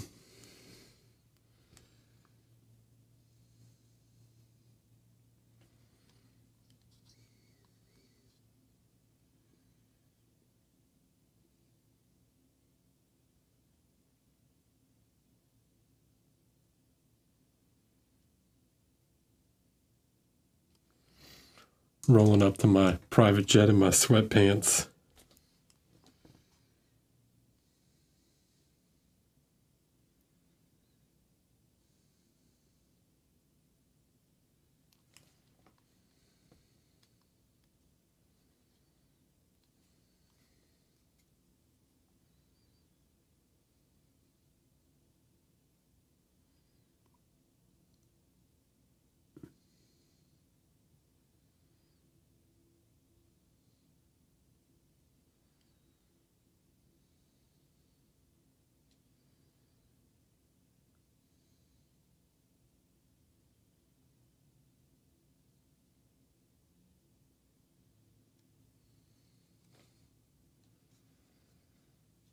Heck yeah.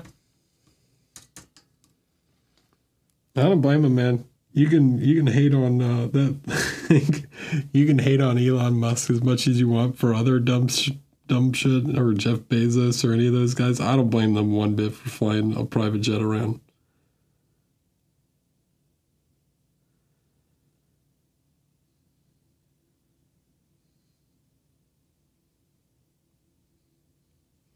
I'd do it too. And as nice as high speed rail would be uh, in the US, that all comes down to like problems with like interstate rules and all this other stuff. It's annoying.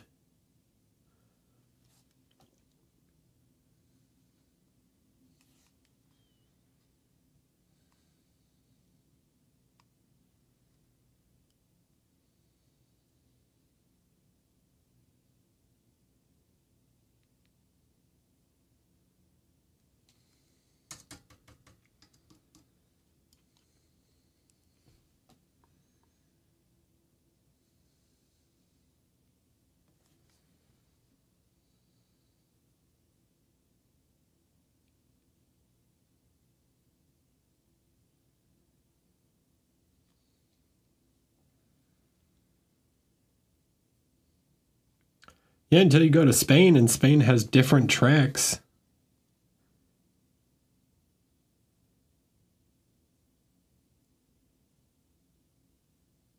Because Franco was like, they're going to invade.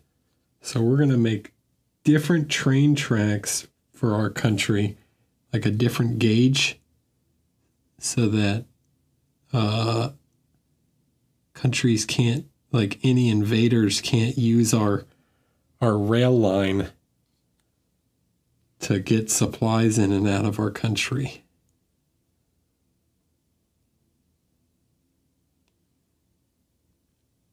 That's why if you want to take a train to like Madrid from Paris, you have to go to Barcelona first and then change trains because then there's a different line that runs from Barcelona to Madrid.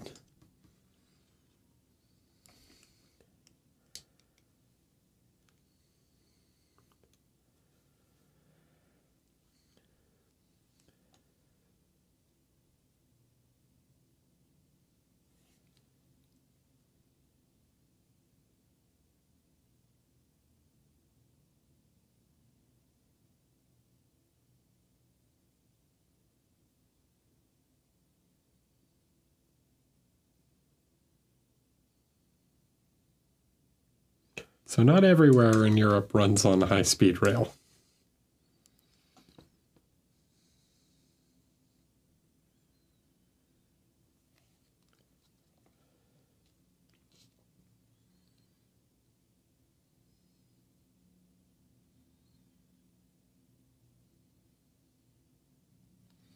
In fact, I don't even know how much there is of it once you uh,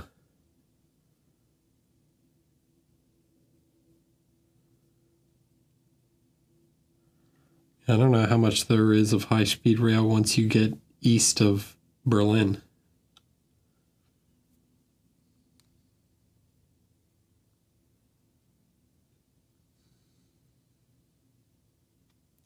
They also have crazy high population density in in Europe. Um, like Paris is massive, dude. There's like three major cities in in France, and Paris makes up like a gigantic portion of the population compared to the U.S., where we're actually kind of spread out.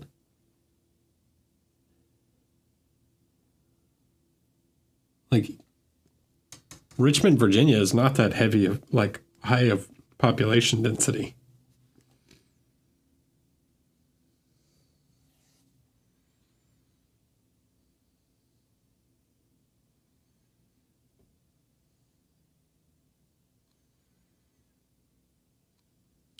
We like living in the the burbs.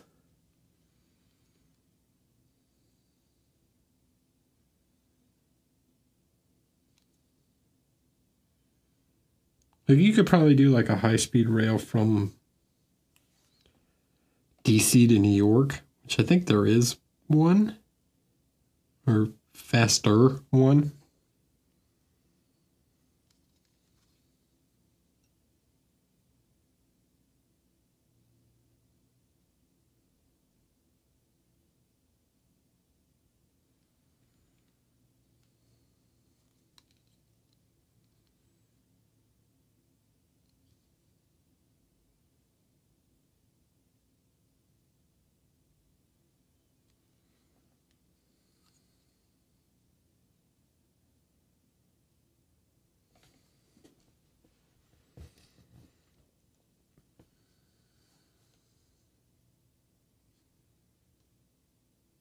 And then what? You do like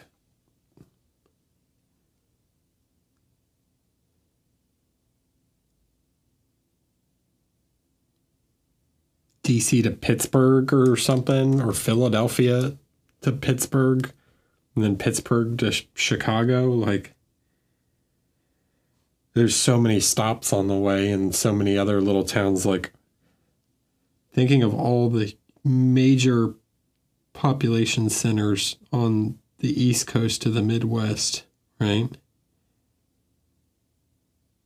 One, you got to cross over the Appalachians, but then you get like Pittsburgh, Indianapolis, Columbus, uh, Cincinnati, Detroit.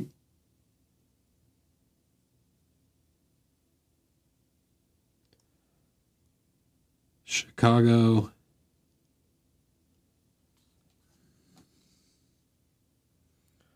Minneapolis, like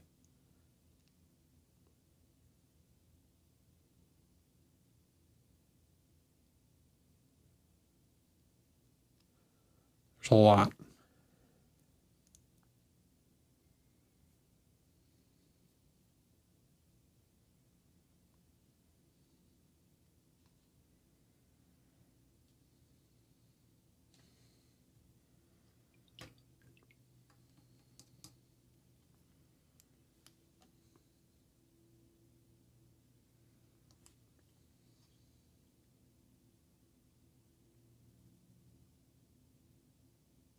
And how long does that take?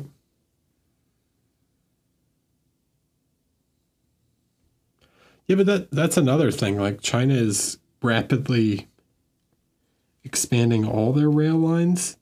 So like they can kind of plan around that, right? We already have a bunch of we already have a bunch of rail lines from like 200 years ago. And now we're trying to like retro we we'd be like trying to retrofit them instead of building all new rail.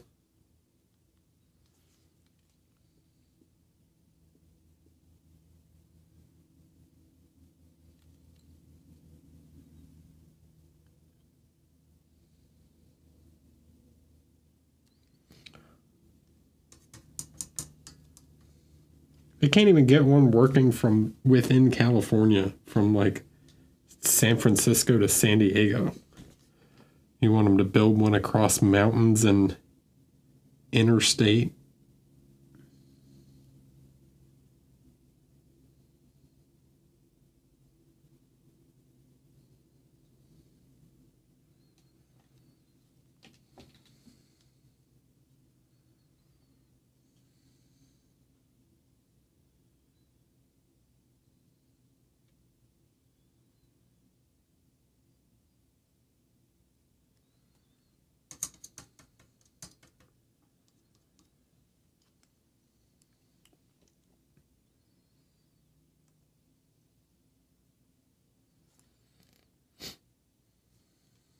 Couldn't even get my city to build a. Uh, so Norfolk, Virginia has a light rail, and couldn't even get Virginia Beach to connect it from downtown Norfolk to the to the ocean front. They're like, no, we don't want that.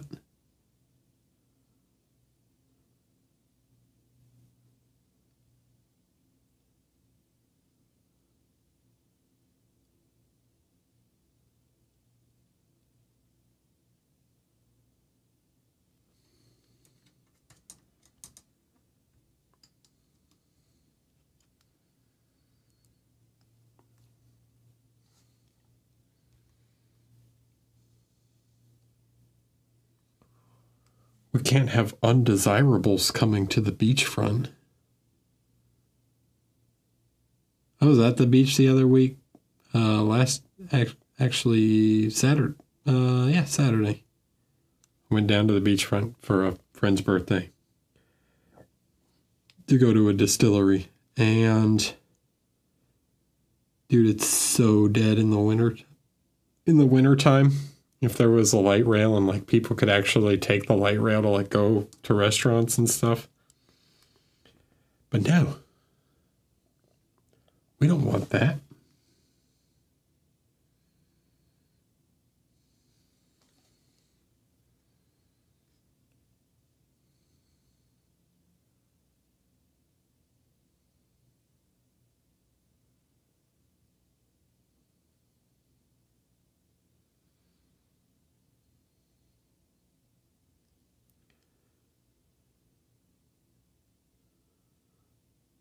Let's just crowd up 264 and have a bunch of drunk drivers. That's a good idea.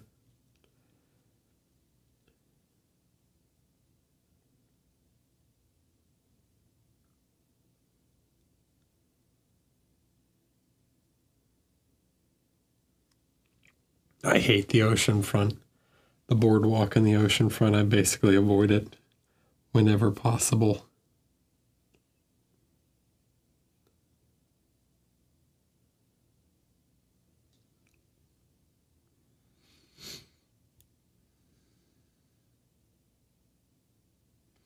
Yeah, well, Tokyo to Osaka is like one of the fastest rails. That thing's crazy.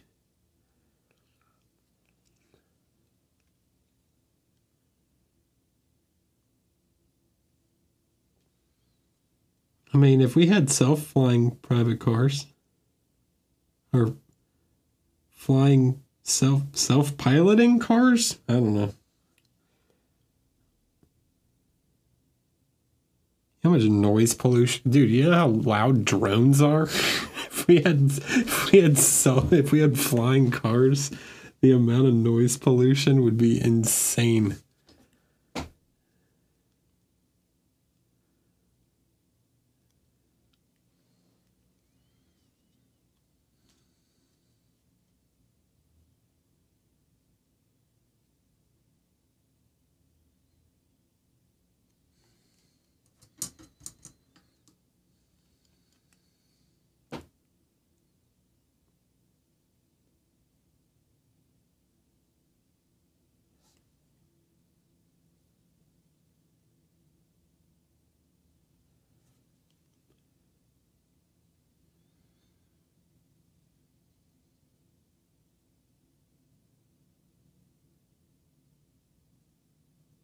Honestly, Sean, Jets have gotten pretty quiet. Like all the F eight, the F twenty twos and stuff, they're really not that that bad.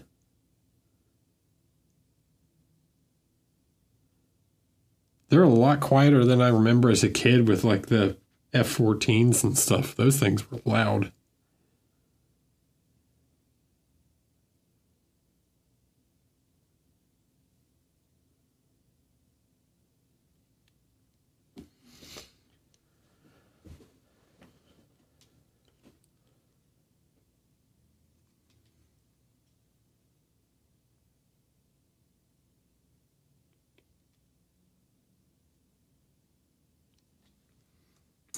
They'd fly over and shake your house.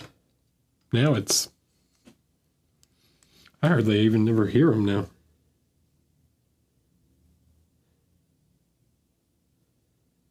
Only thing I really hear is helicopters. Because maybe if I lived at Oceana or something and you were hearing jets like take off and land all the time, then maybe. I guess if you live near Langley Air Force Base.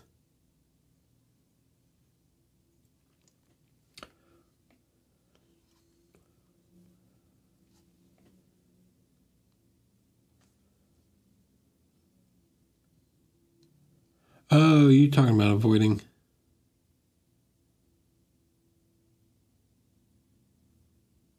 Yeah, I don't know anybody who's like a local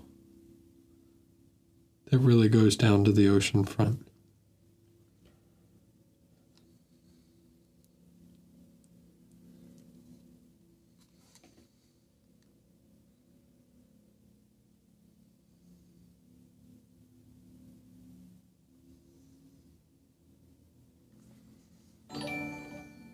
Acrylic Geek rating with a party of 18. Hello.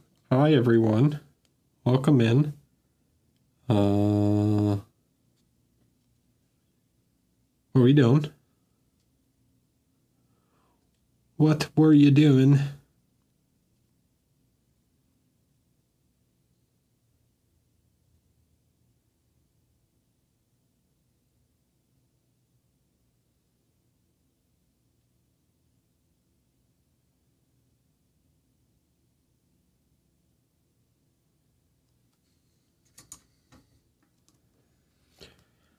Case anybody didn't really get what I was talking about, I live near like two of the large, like literally the largest naval base in the world.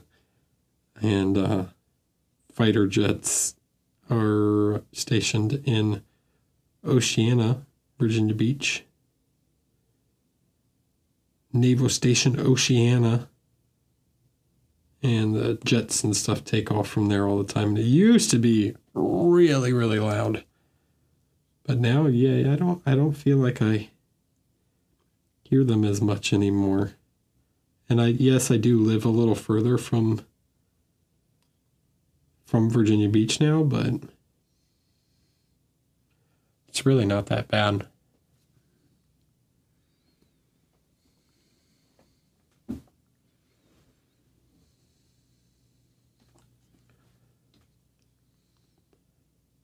Well, you could go down to the beach now and go to a Sensations every two blocks and uh, whatever the ice cream place is. So, as you know, while you're walking three blocks and you finish your ice cream, you can stop in and get another one.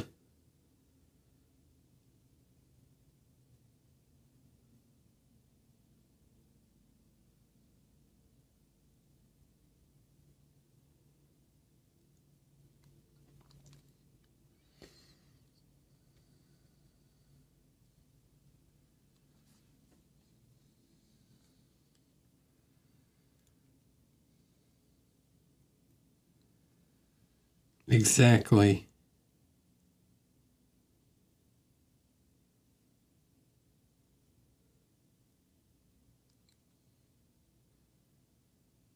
Because it sucks.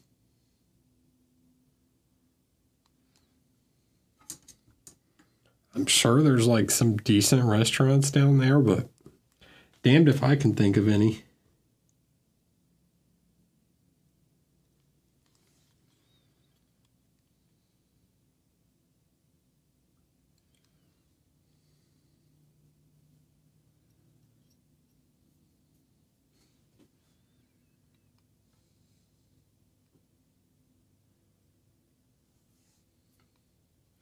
Mid 80s, I was zero years old.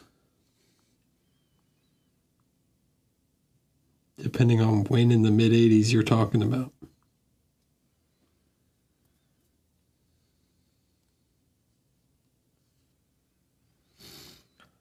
I remember the Raven.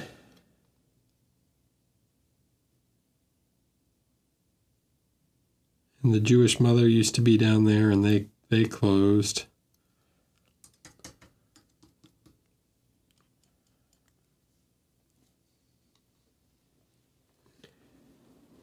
Some AOS for Adepticon, Adepticons for Golden Demon, or for uh, like your army. Well, in 87, I was two.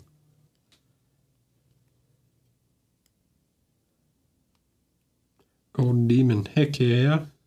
Cool.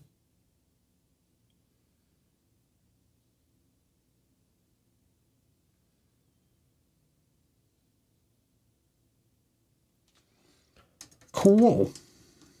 I have not even started my golden demon entry yet.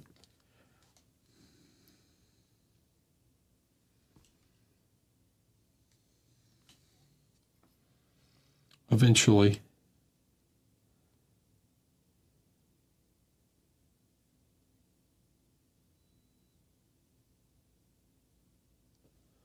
We'll get there.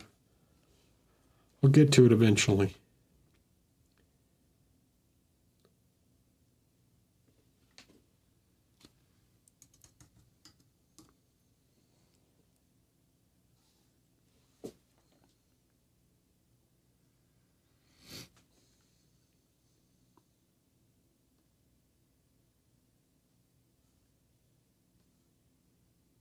Yeah, dude, you're an old man.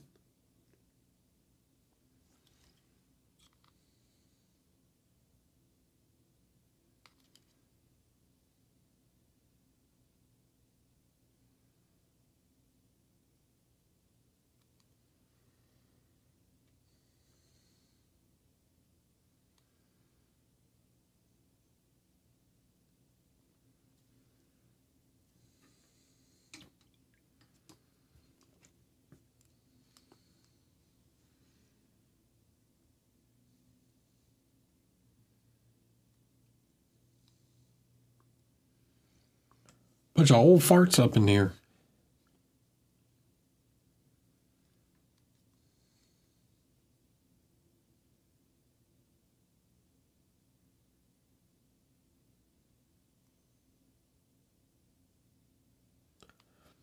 It was the summer of 69.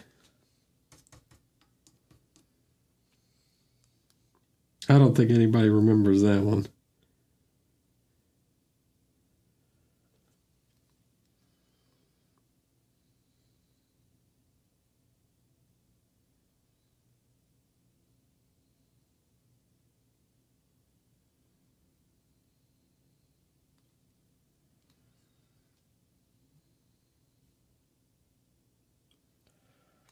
All right. Getting get more done. Yeah, how many more of these lanterns do I have to go? Like three or something? I don't know. All right, I'm gonna take a I'm gonna take a quick break. Take a quick smoke break. Try and finish these lanterns. And then uh maybe work on the ropes a little bit or something. I don't know. But I'll be back in a few.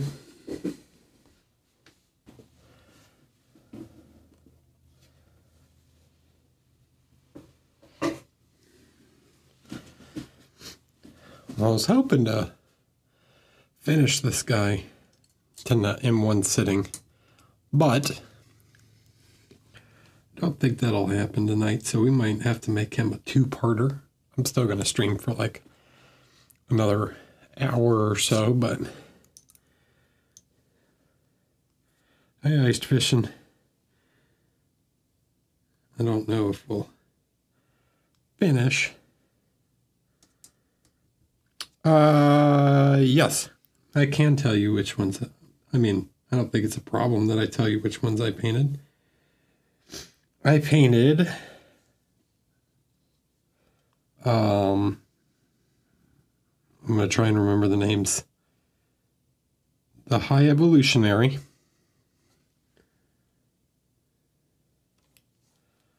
I painted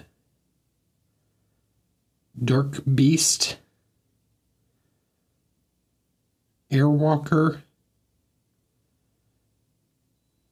uh, the Skrull Queen,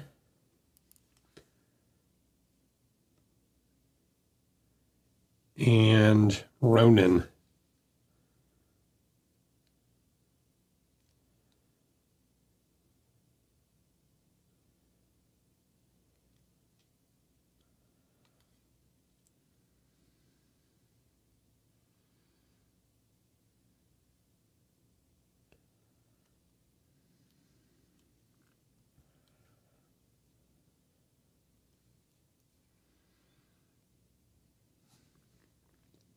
No, I didn't paint any of the big ones.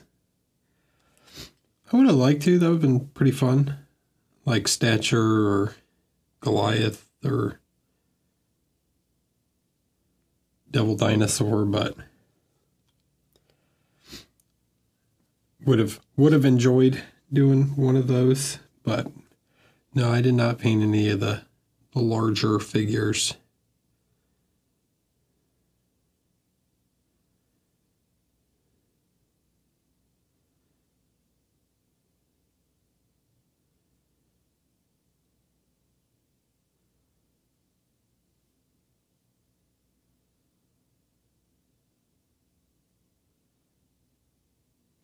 There's a few that I, I think would have been fun to paint other otherwise, like uh, Hulkbuster. Actually, any of them from the the World War Hulk set would have been cool. Uh, Agent Venom is really cool. I would have liked to paint that one. Gorr the God Butcher would have been fun sure there's other ones, but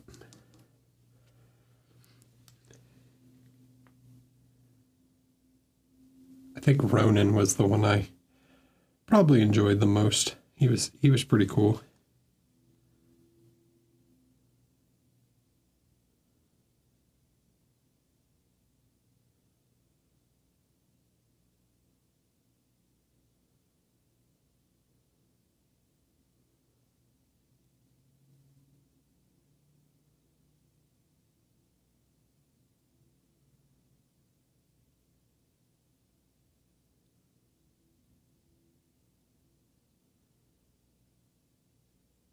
When I was asked to help out, a lot of them were already already done by that point.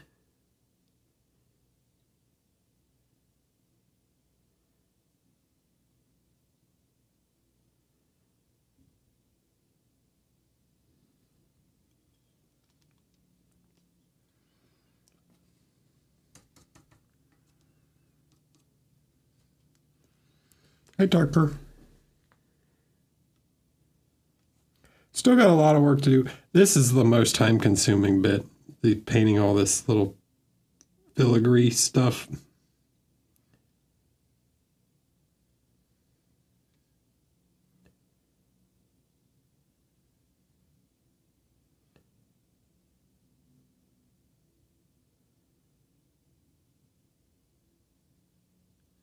Probably not the most interesting part to watch either, but it's got to get done. It's big part of the effect.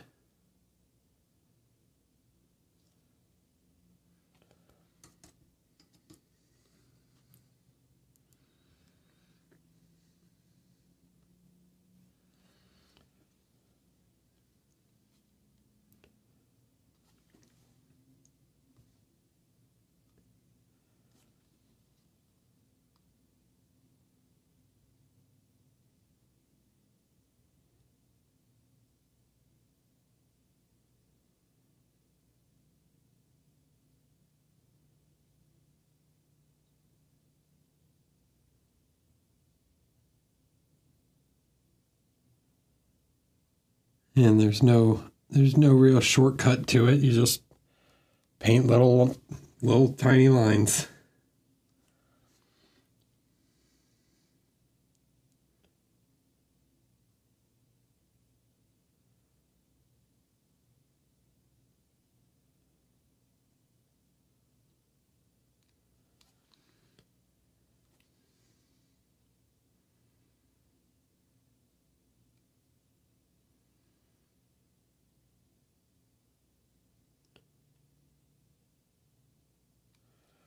Try and be clean, don't mess up the work you've already done.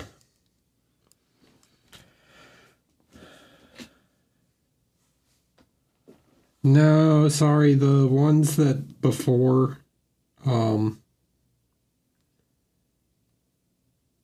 the ones beforehand uh everything before the Lucas Zaba mushroom is lost to time.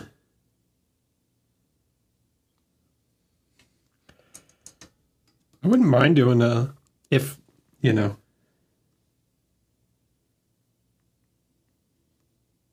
if I ever get my hands on a Marvel Chibi. I wouldn't mind doing another one of those at some point.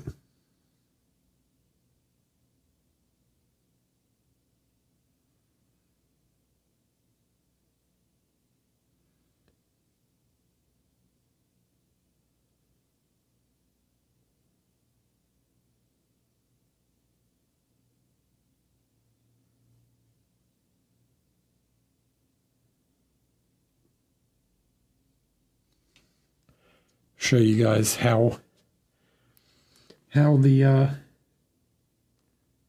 the studio schemes are done if you want.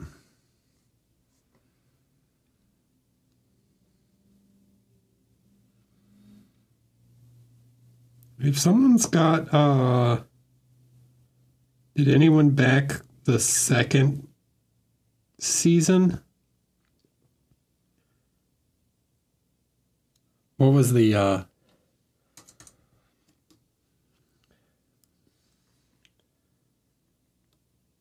Did anybody get the fan you backed them all of them? If you send me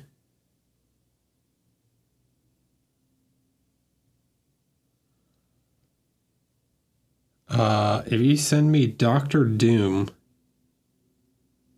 from the second set from the Fantastic Four set and pay for shipping, I will paint it on stream for you.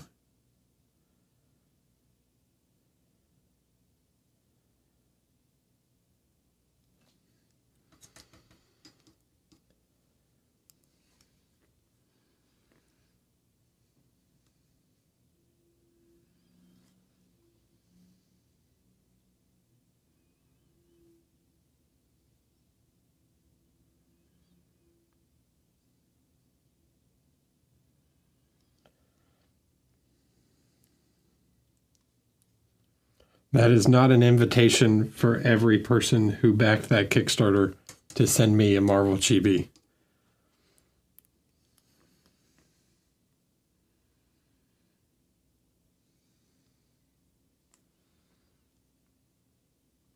Well, you can send me a message on Instagram.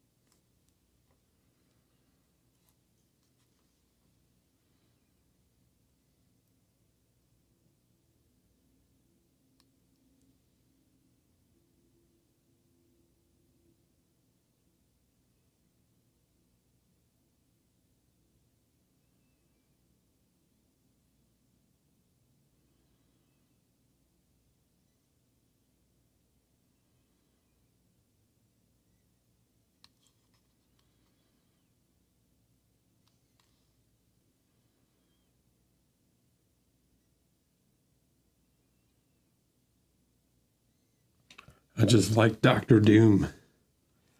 Doom. Doom is the one character that I'm like actually excited to see in a movie then and not be garbage, hopefully.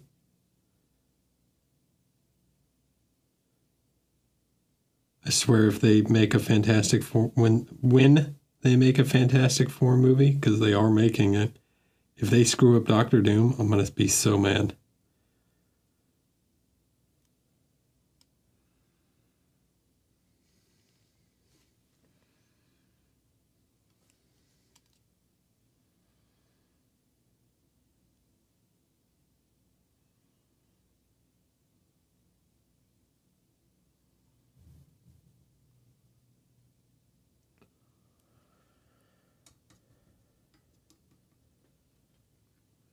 Yeah, the one on uh, the White God Doom or whatever from uh, what was the name of that series?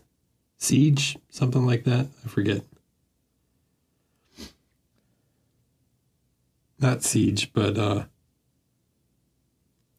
Battle World, whatever, where all the plant, where all the multiverses crossover.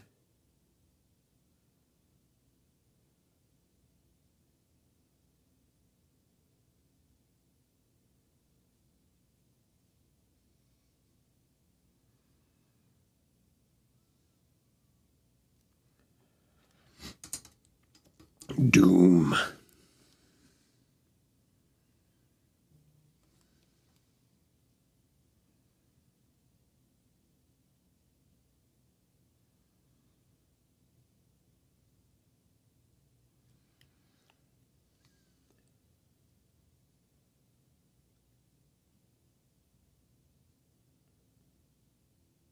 He is one of my favorite Marvel characters, and I am surprised. Not really. I, I kind of get why that uh, they haven't done him yet, but I'm a little shocked he hasn't been done in Marvel Crisis Protocol yet.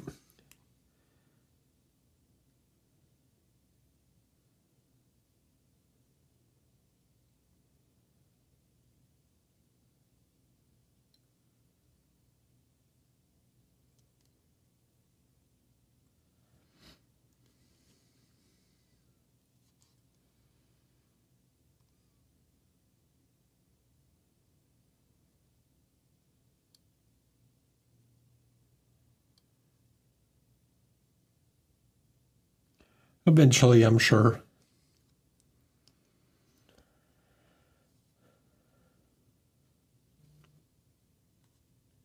Well, the now that the the Turk the uh, what's it called?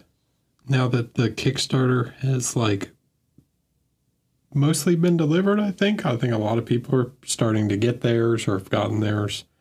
Um, I wouldn't be. You should see them go on retail here soon. I know there were some that were Kickstarter exclusives, but.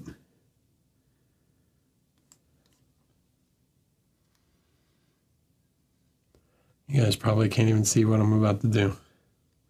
Sorry. There's no real good way for me to show this. Just trying to paint these little lines back in here.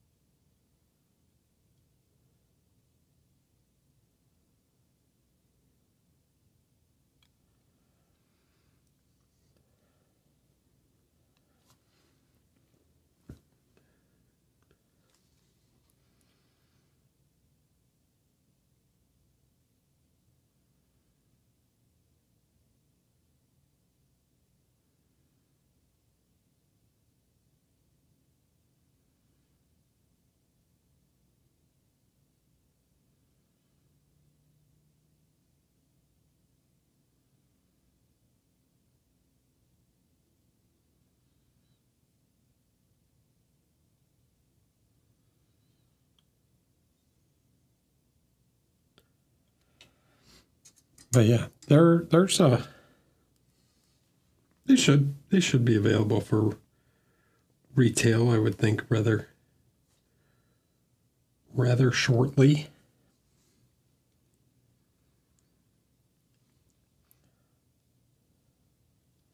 The Asteria on horseback was really cool model. And the banner is the banner is pretty cool. It gives you bunch of opportunity to paint some some fun freehand.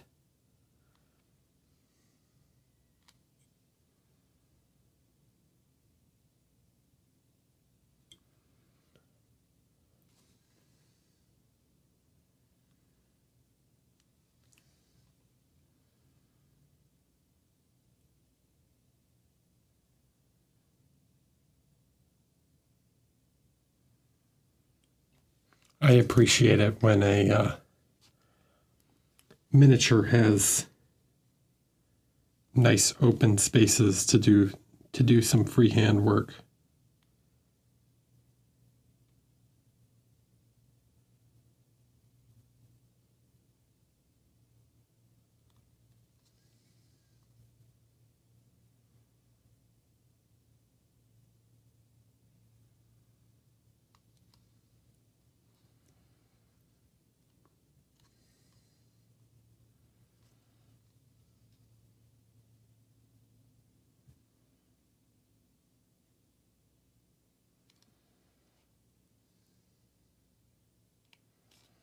Did I get them all?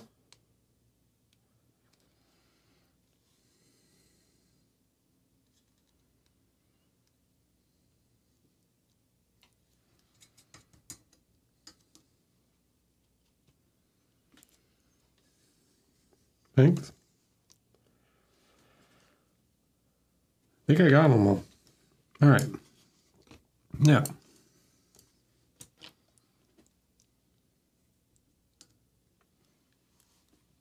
Go back to the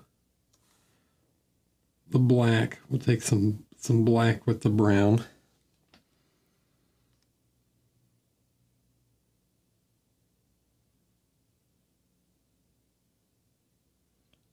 Just cover these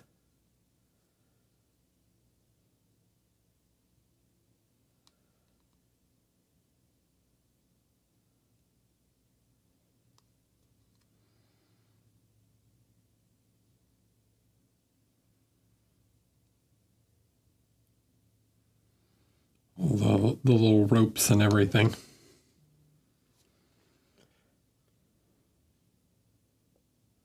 Yes, I painted the the one without the banner.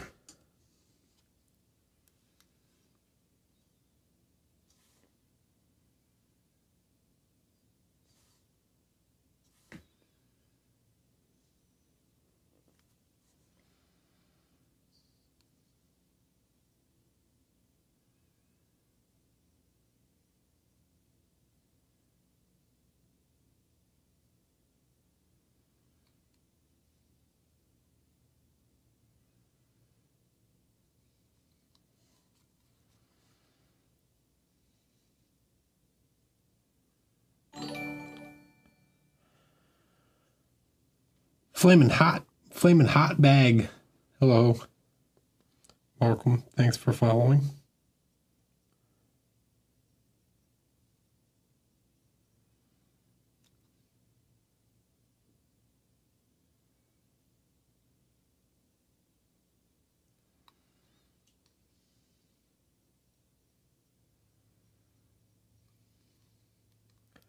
Paint all the bottoms of the lanterns those nice and dark.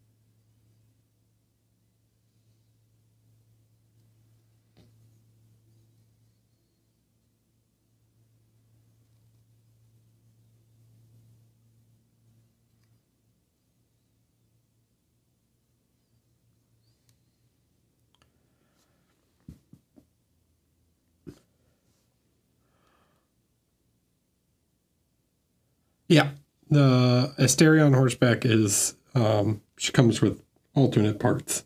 So I have the flag actually. Um, yeah, you can either put her together with the flag, or you can put her together and and you can swap the heads. Now I don't know if those are Kickstarter exclusive pieces or what. I know sometimes they do it that way.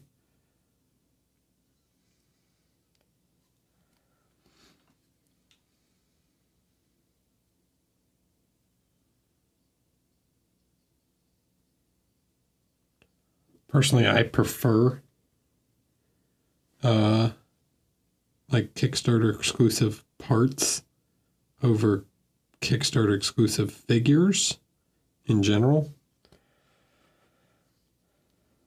I think it's generally just a better consumer thing. Like make the figure available, but if you want to do limited edition pieces, that's cool.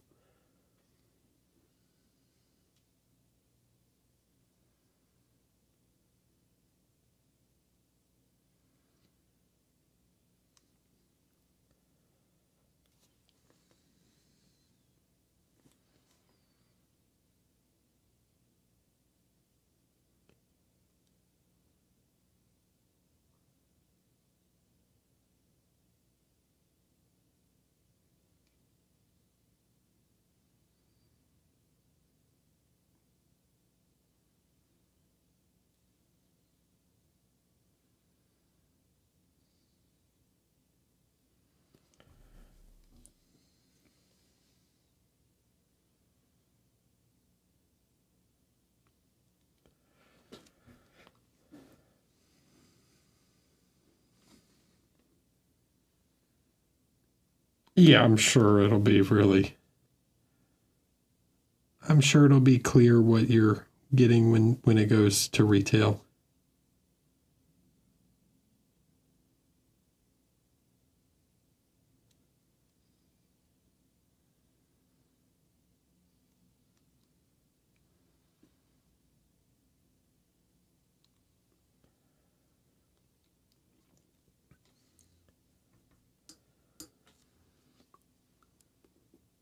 See, once we start painting all the the black parts into the lanterns, it's just making them look even brighter, right? Because you get that black right next to the the bright yellow and that extra contrast makes them look even brighter.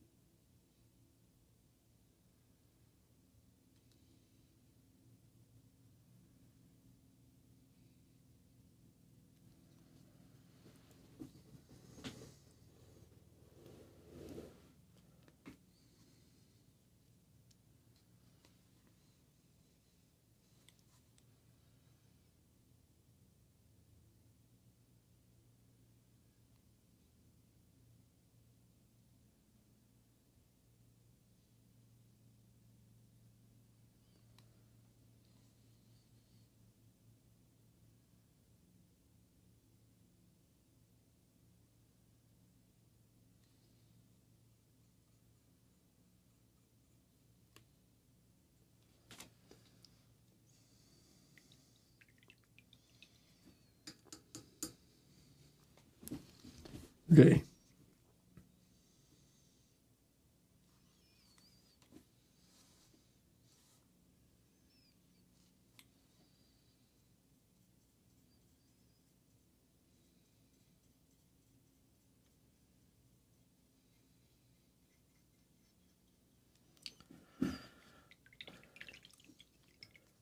Cool. All right, let's uh let's do a little work on his robe. So I want this to stick with this like pale turquoise. Um I'm gonna grab a I don't need the glasses anymore for this. I'll just grab like a blue green.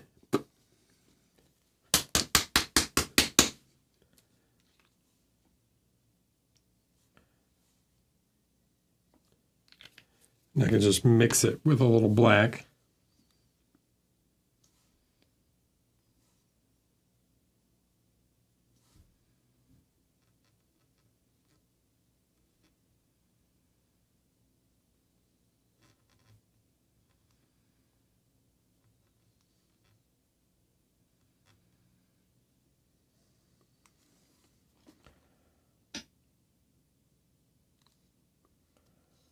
Check what my my value is. So I need to go a little brighter than that.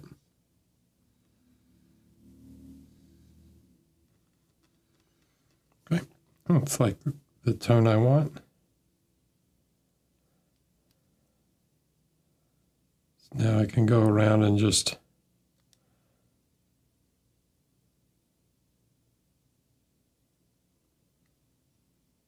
highlight the robe in some places where I want a little extra light and definition.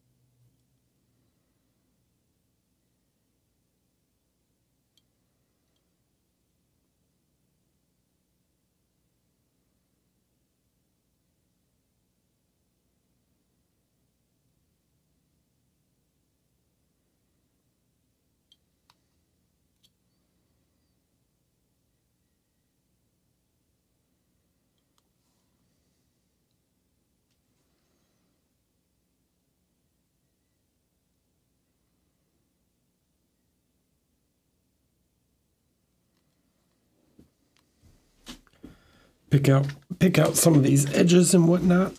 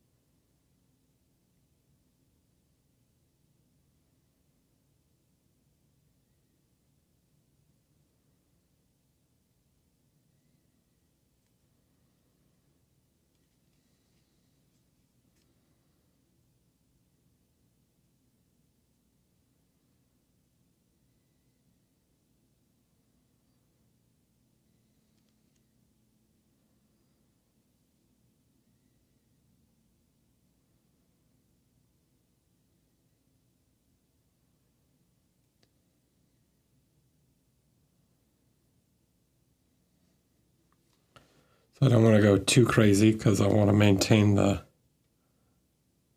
the nice, like really dark feeling to the robe, but got to get some uh, shape and volume to the the robes and areas. And then we can bump the light up even more. I don't want to add too much color either, so I'm going to grab some of the white just uh, to desaturate it a little bit. So white with the the blue and the black. That's about the light I want there. Actually, I can grab some of this gray also. Could use this gray also.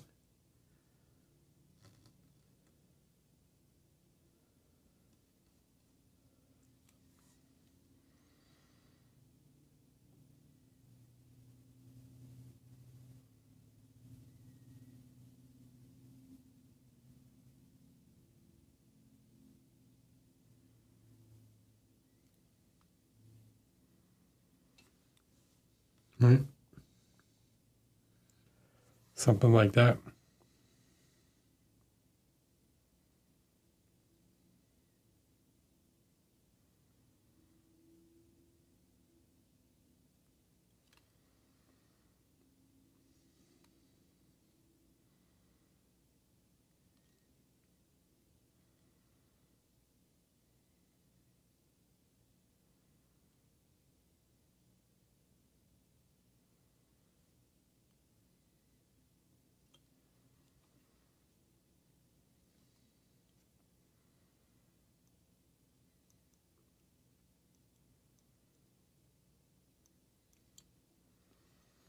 If I go overboard, it's easy to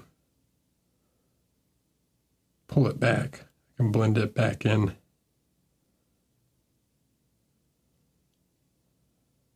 Now I just want to make sure I get some of these shapes really well.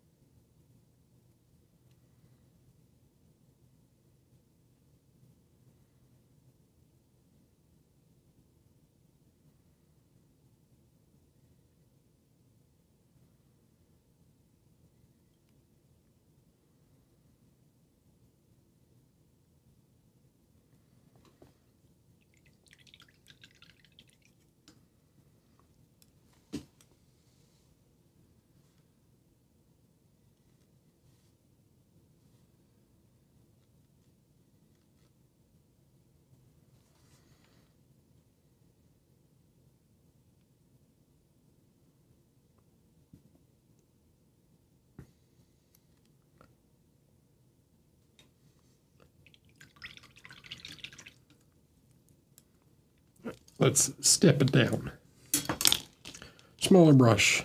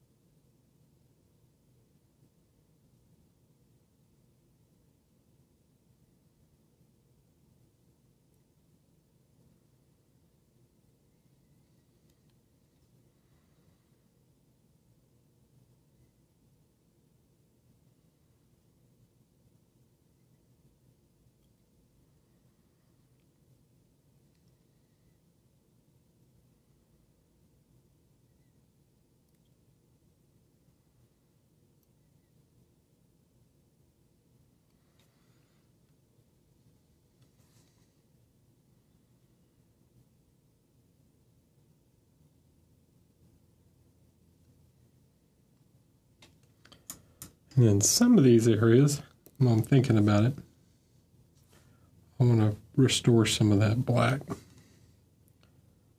things like this, some of these folds.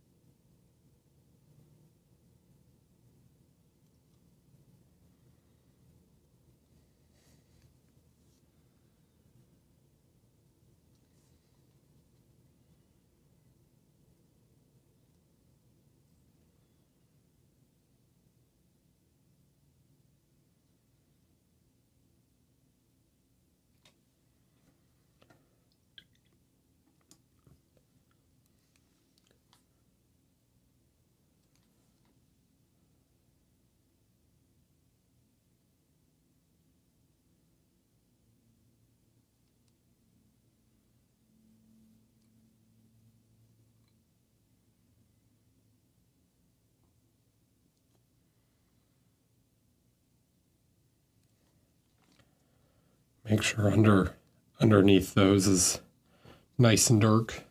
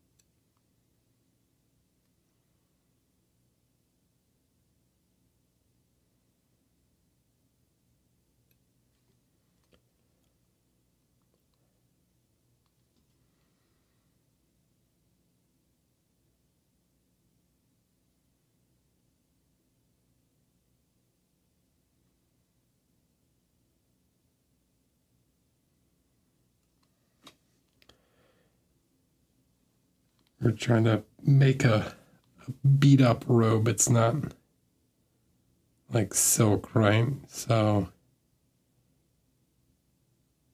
make my my edge highlights kind of imperfect.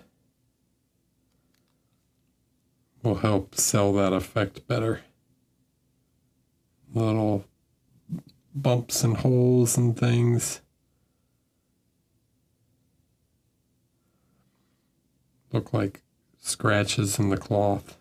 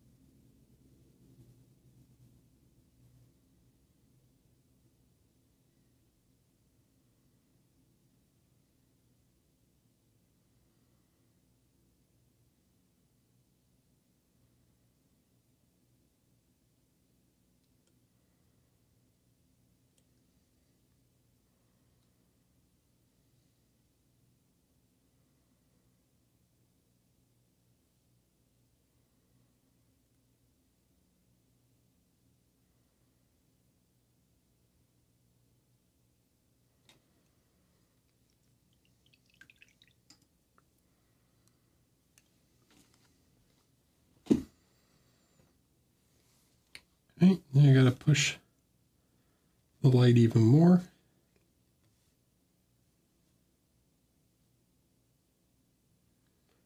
The hood.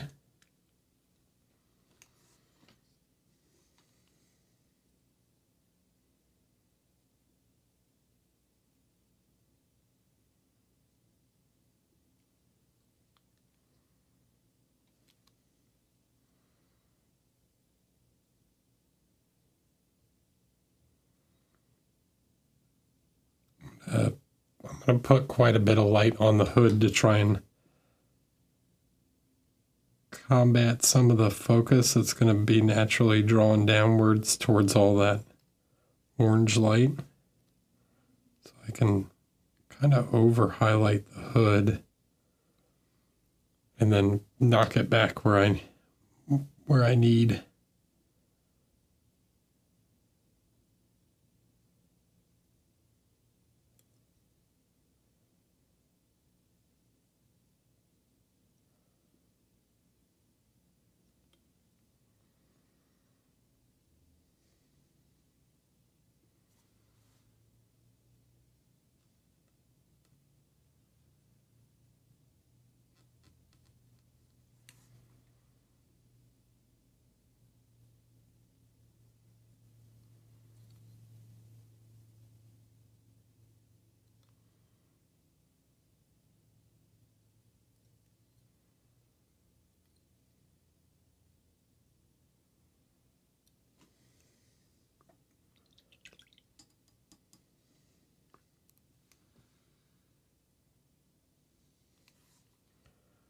I want some of these areas here, right by where his hood starts or uh, collar like ends. I'm going to push the light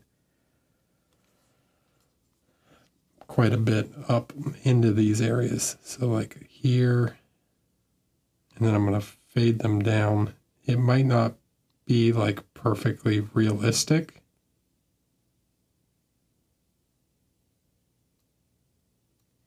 But it's going to help pull attention upwards.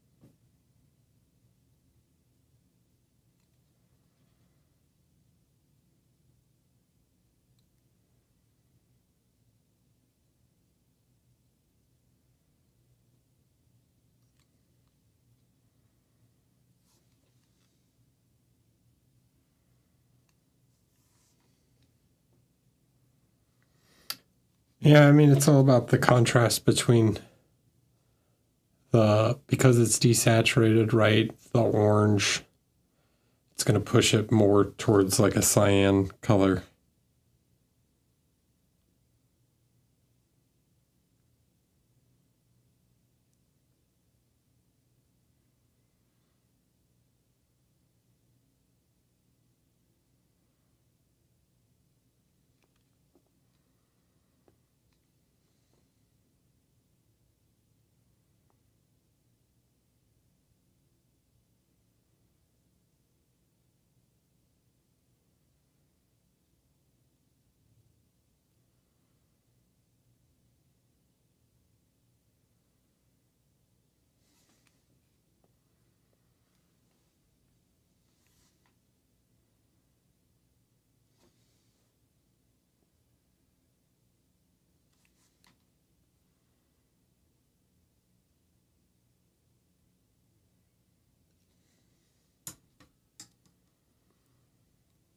Okay.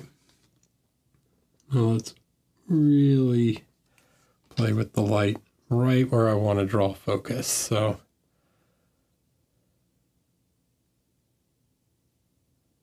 really going to push some of this light right here.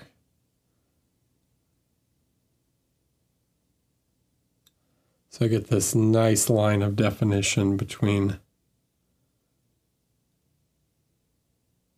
his collar in the front of his robe.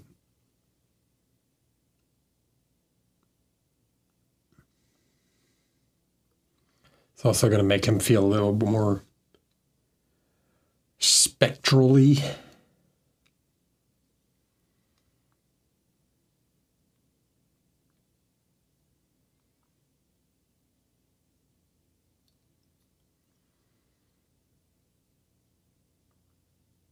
That a word? I just make up a word?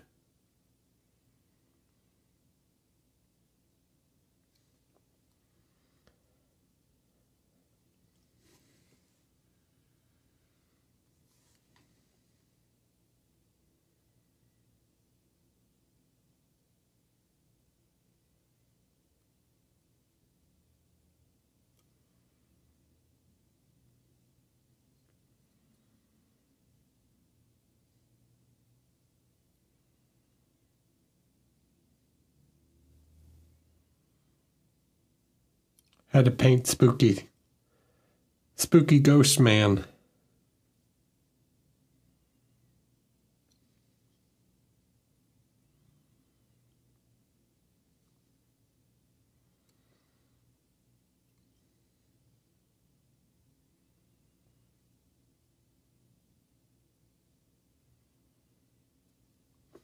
And we want him to feel unnatural, right?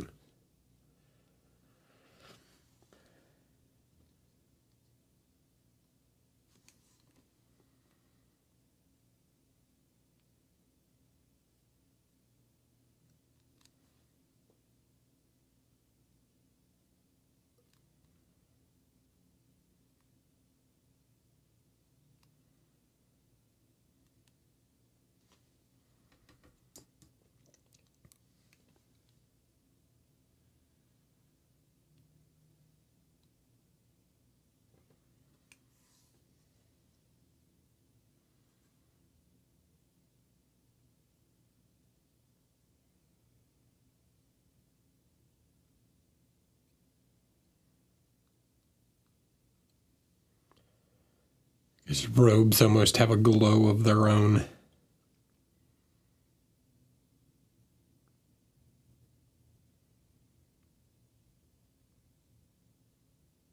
Yeah, I'm just going to blend this out with some texture, like a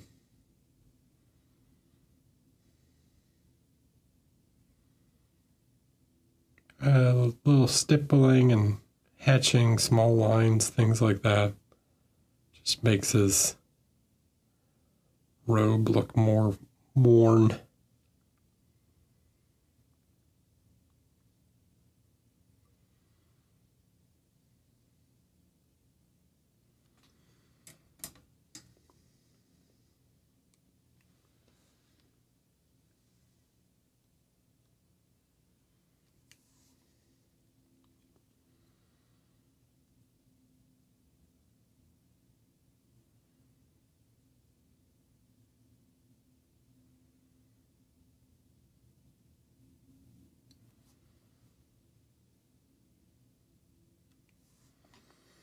See ya.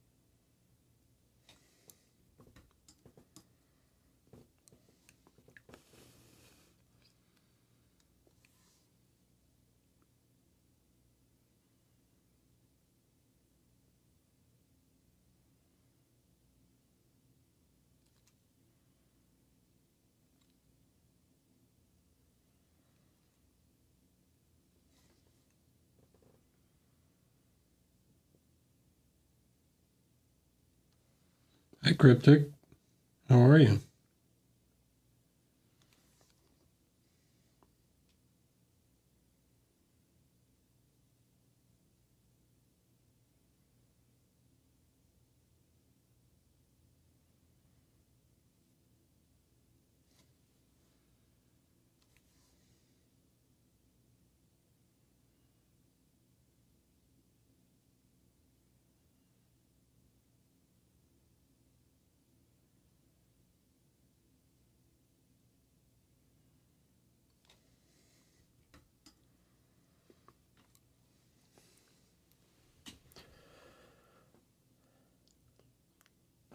Okay.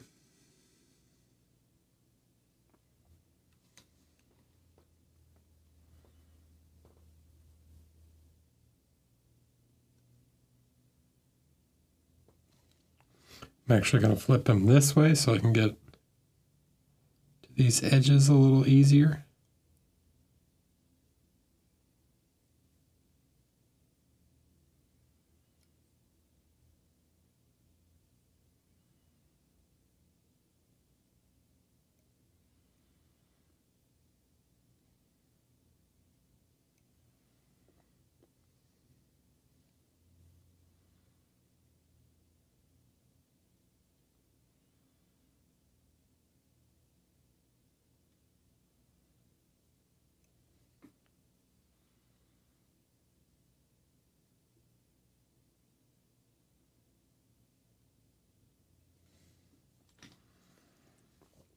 Right?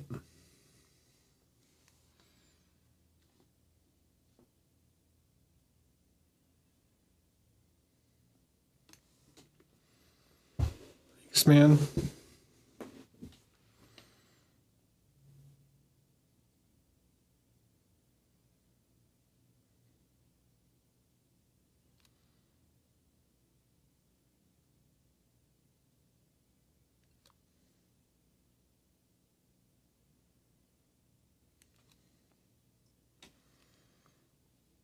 Push push the light on his head just a little more. Really want that kind of ghostly moonlight thing going on.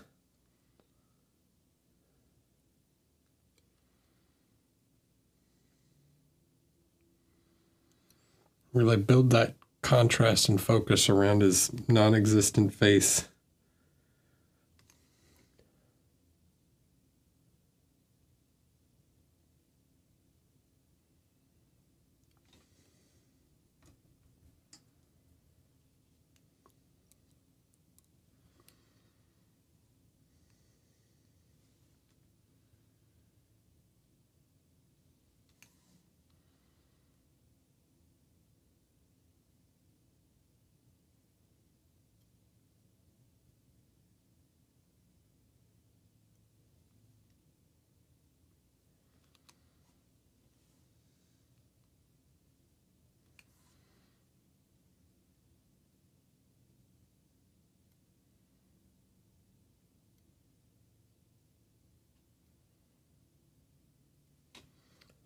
It's all a trick. I installed LEDs while I was on my smoke break and you guys didn't see.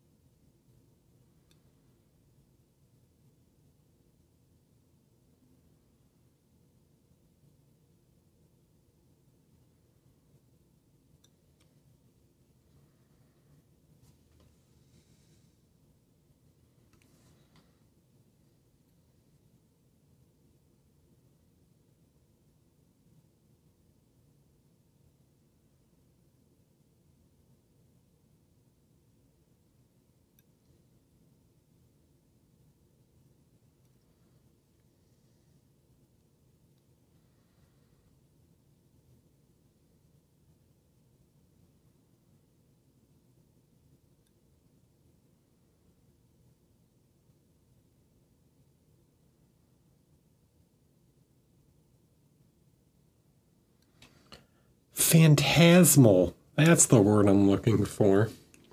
The glow, the light around his collar and head makes him look kind of phantasmal.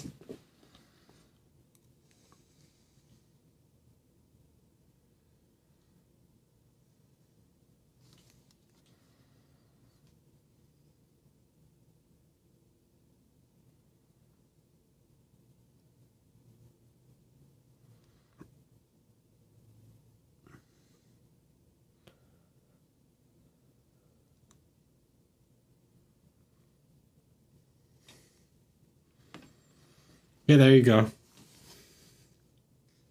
That's about how big he is.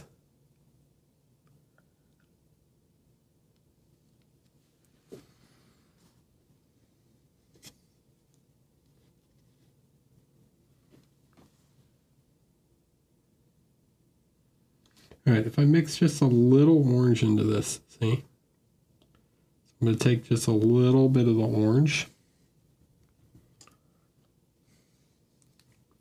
We grab some here, right? I'll pull it off to the side. I grab a little orange, mix it in, and it's gonna desaturate it some. And I'll use a little more of that desaturated gray towards the bottom of his robes, closer to the light. That'll pull some of that blue color out. And make the, the transition between the two sections a little more natural.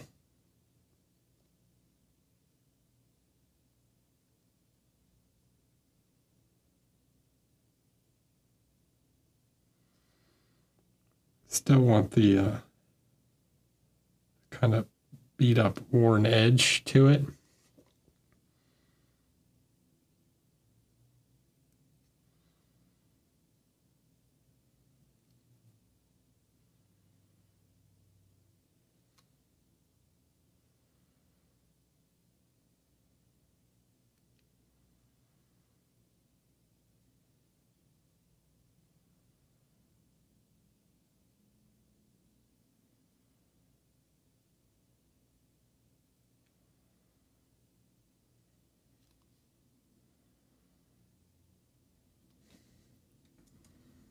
Something like that. King KDM is like 42 millimeter. scale. It's it's roughly the same scale as uh, uh, like Marvel Crisis Protocol.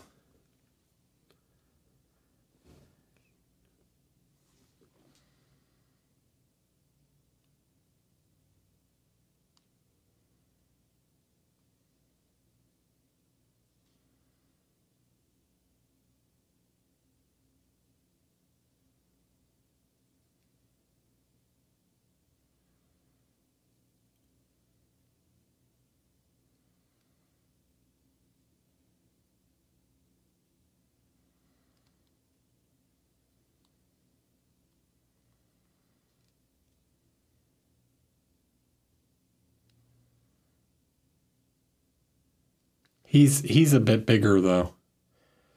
He's he's a big boy.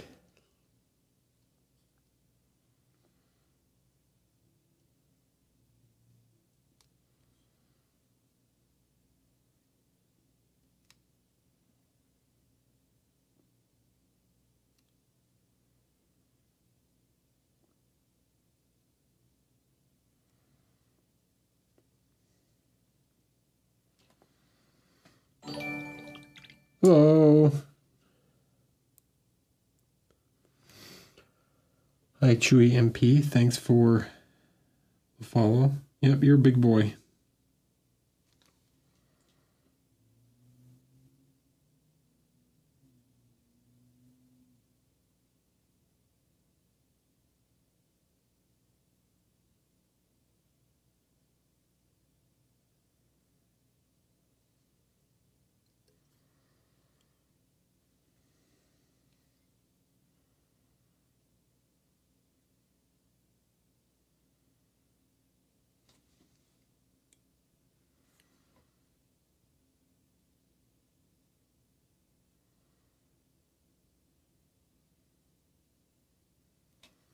Thanks.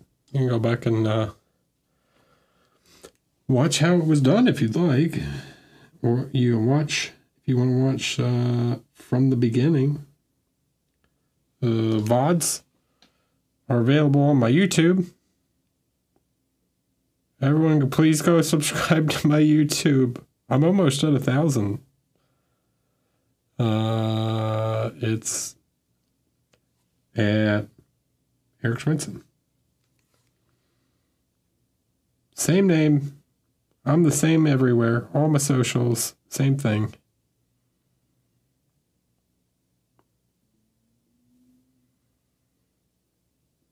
You can watch all the previous, well, not all of them, but most of the previous streams, at least from the last like few months.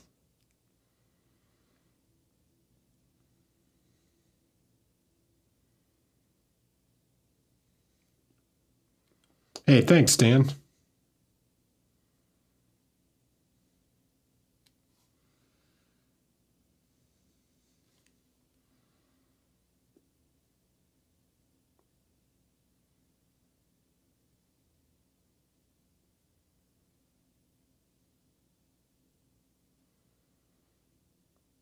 One of these days, I'll figure out how to uh, make a chatbot.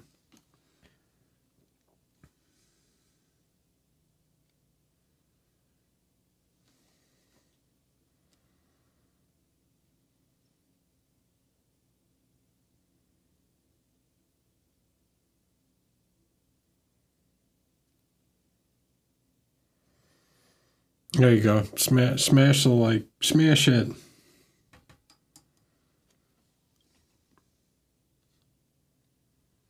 All these people keeping me pretty busy with uh, painting figures, so just haven't haven't found the the time to sit down and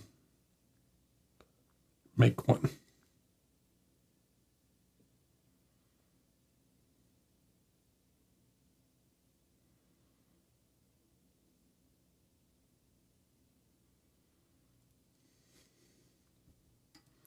I swear.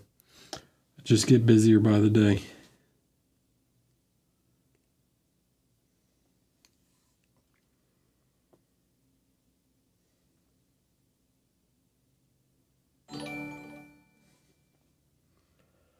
Cryptic, thanks for the prime, man. Appreciate it. Yeah, join the Discord, whatever. You know, anybody new want to join the Discord? Got a nice community of painters, post your work in progress. Some, some, uh, you know, pretty solid painters in there, like, oh, like, uh, miniature monthly award winning painters in in the discord just hanging out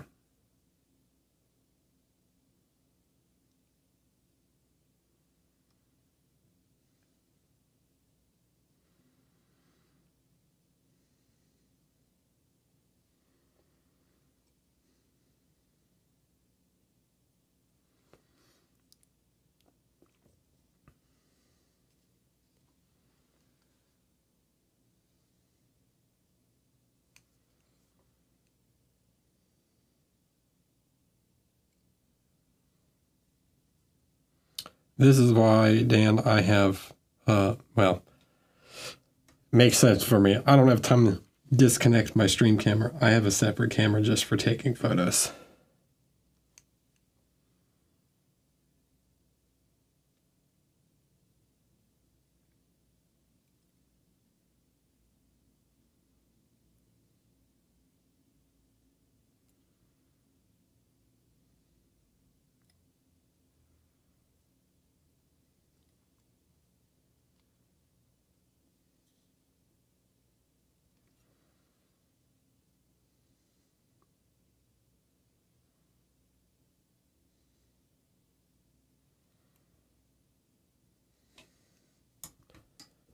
And even though I don't only stream once a week, I'm const- like constantly recording what I'm painting. So.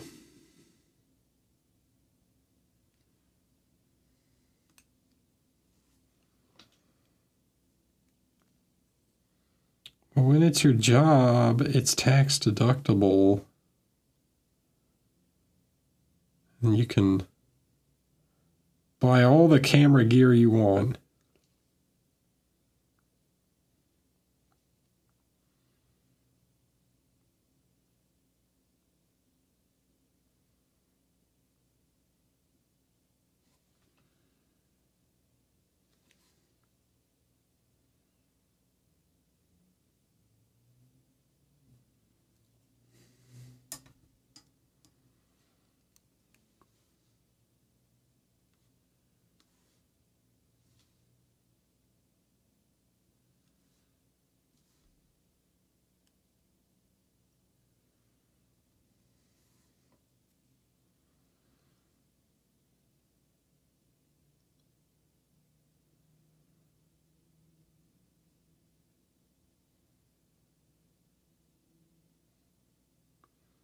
I'm an open book.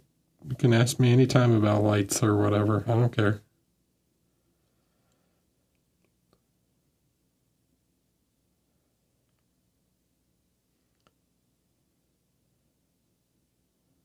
I've got no secrets other than projects I'm working on. Those like that stuff, you know, I can't talk about. But other than that,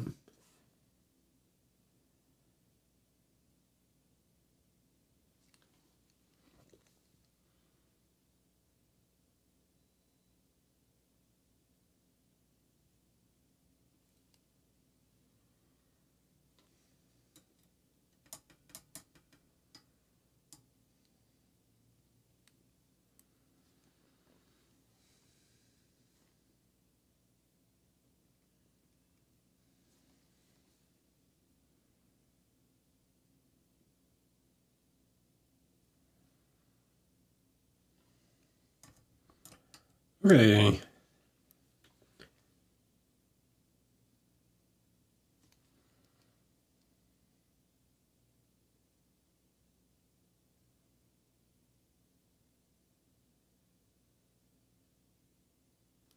Make sure I line around all these robes. Again, def the definition is important. I want these black lines that, sep that separate the different layers of robe from each other.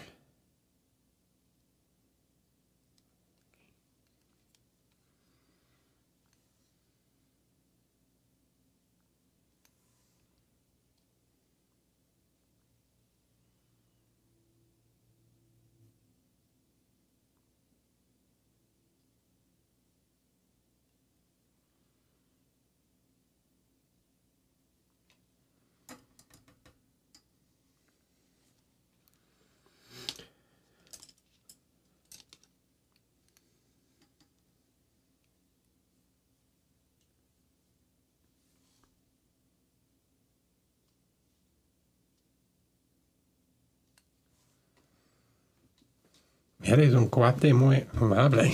What is a cuate?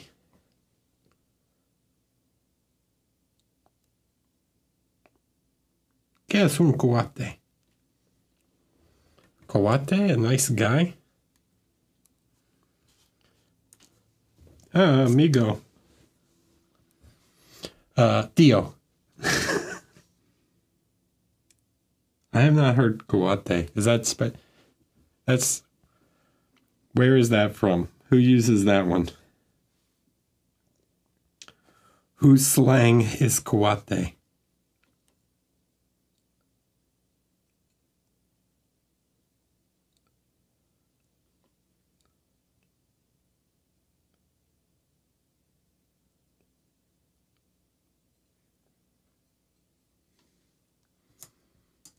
Mexico.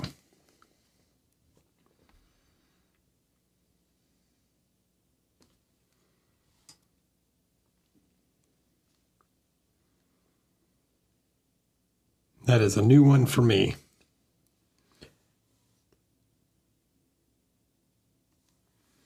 All right. Now,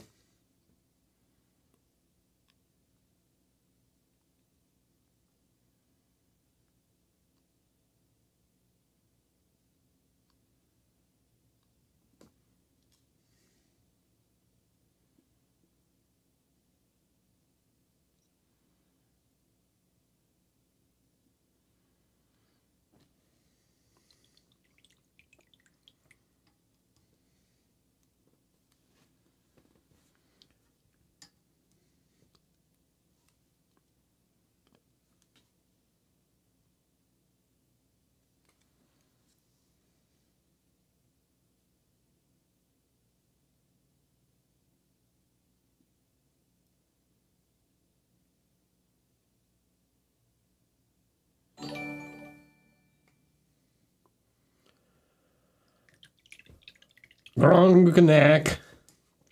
Hi, Gronganak. Welcome. Hey, how's that feel? Pretty good so far. Feeling pretty good about where he's at. Been live for four showers. Uh, I think. Do I think I want to call it here for tonight? And then we can finish them next week. Do all the little detaily parts and the base, and, and finish them next week.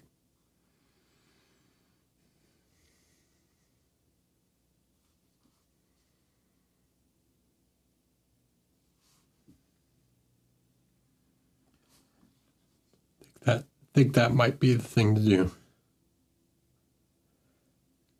Okay, yeah, because it's eleven. All right. So we'll, we'll finish him up next week.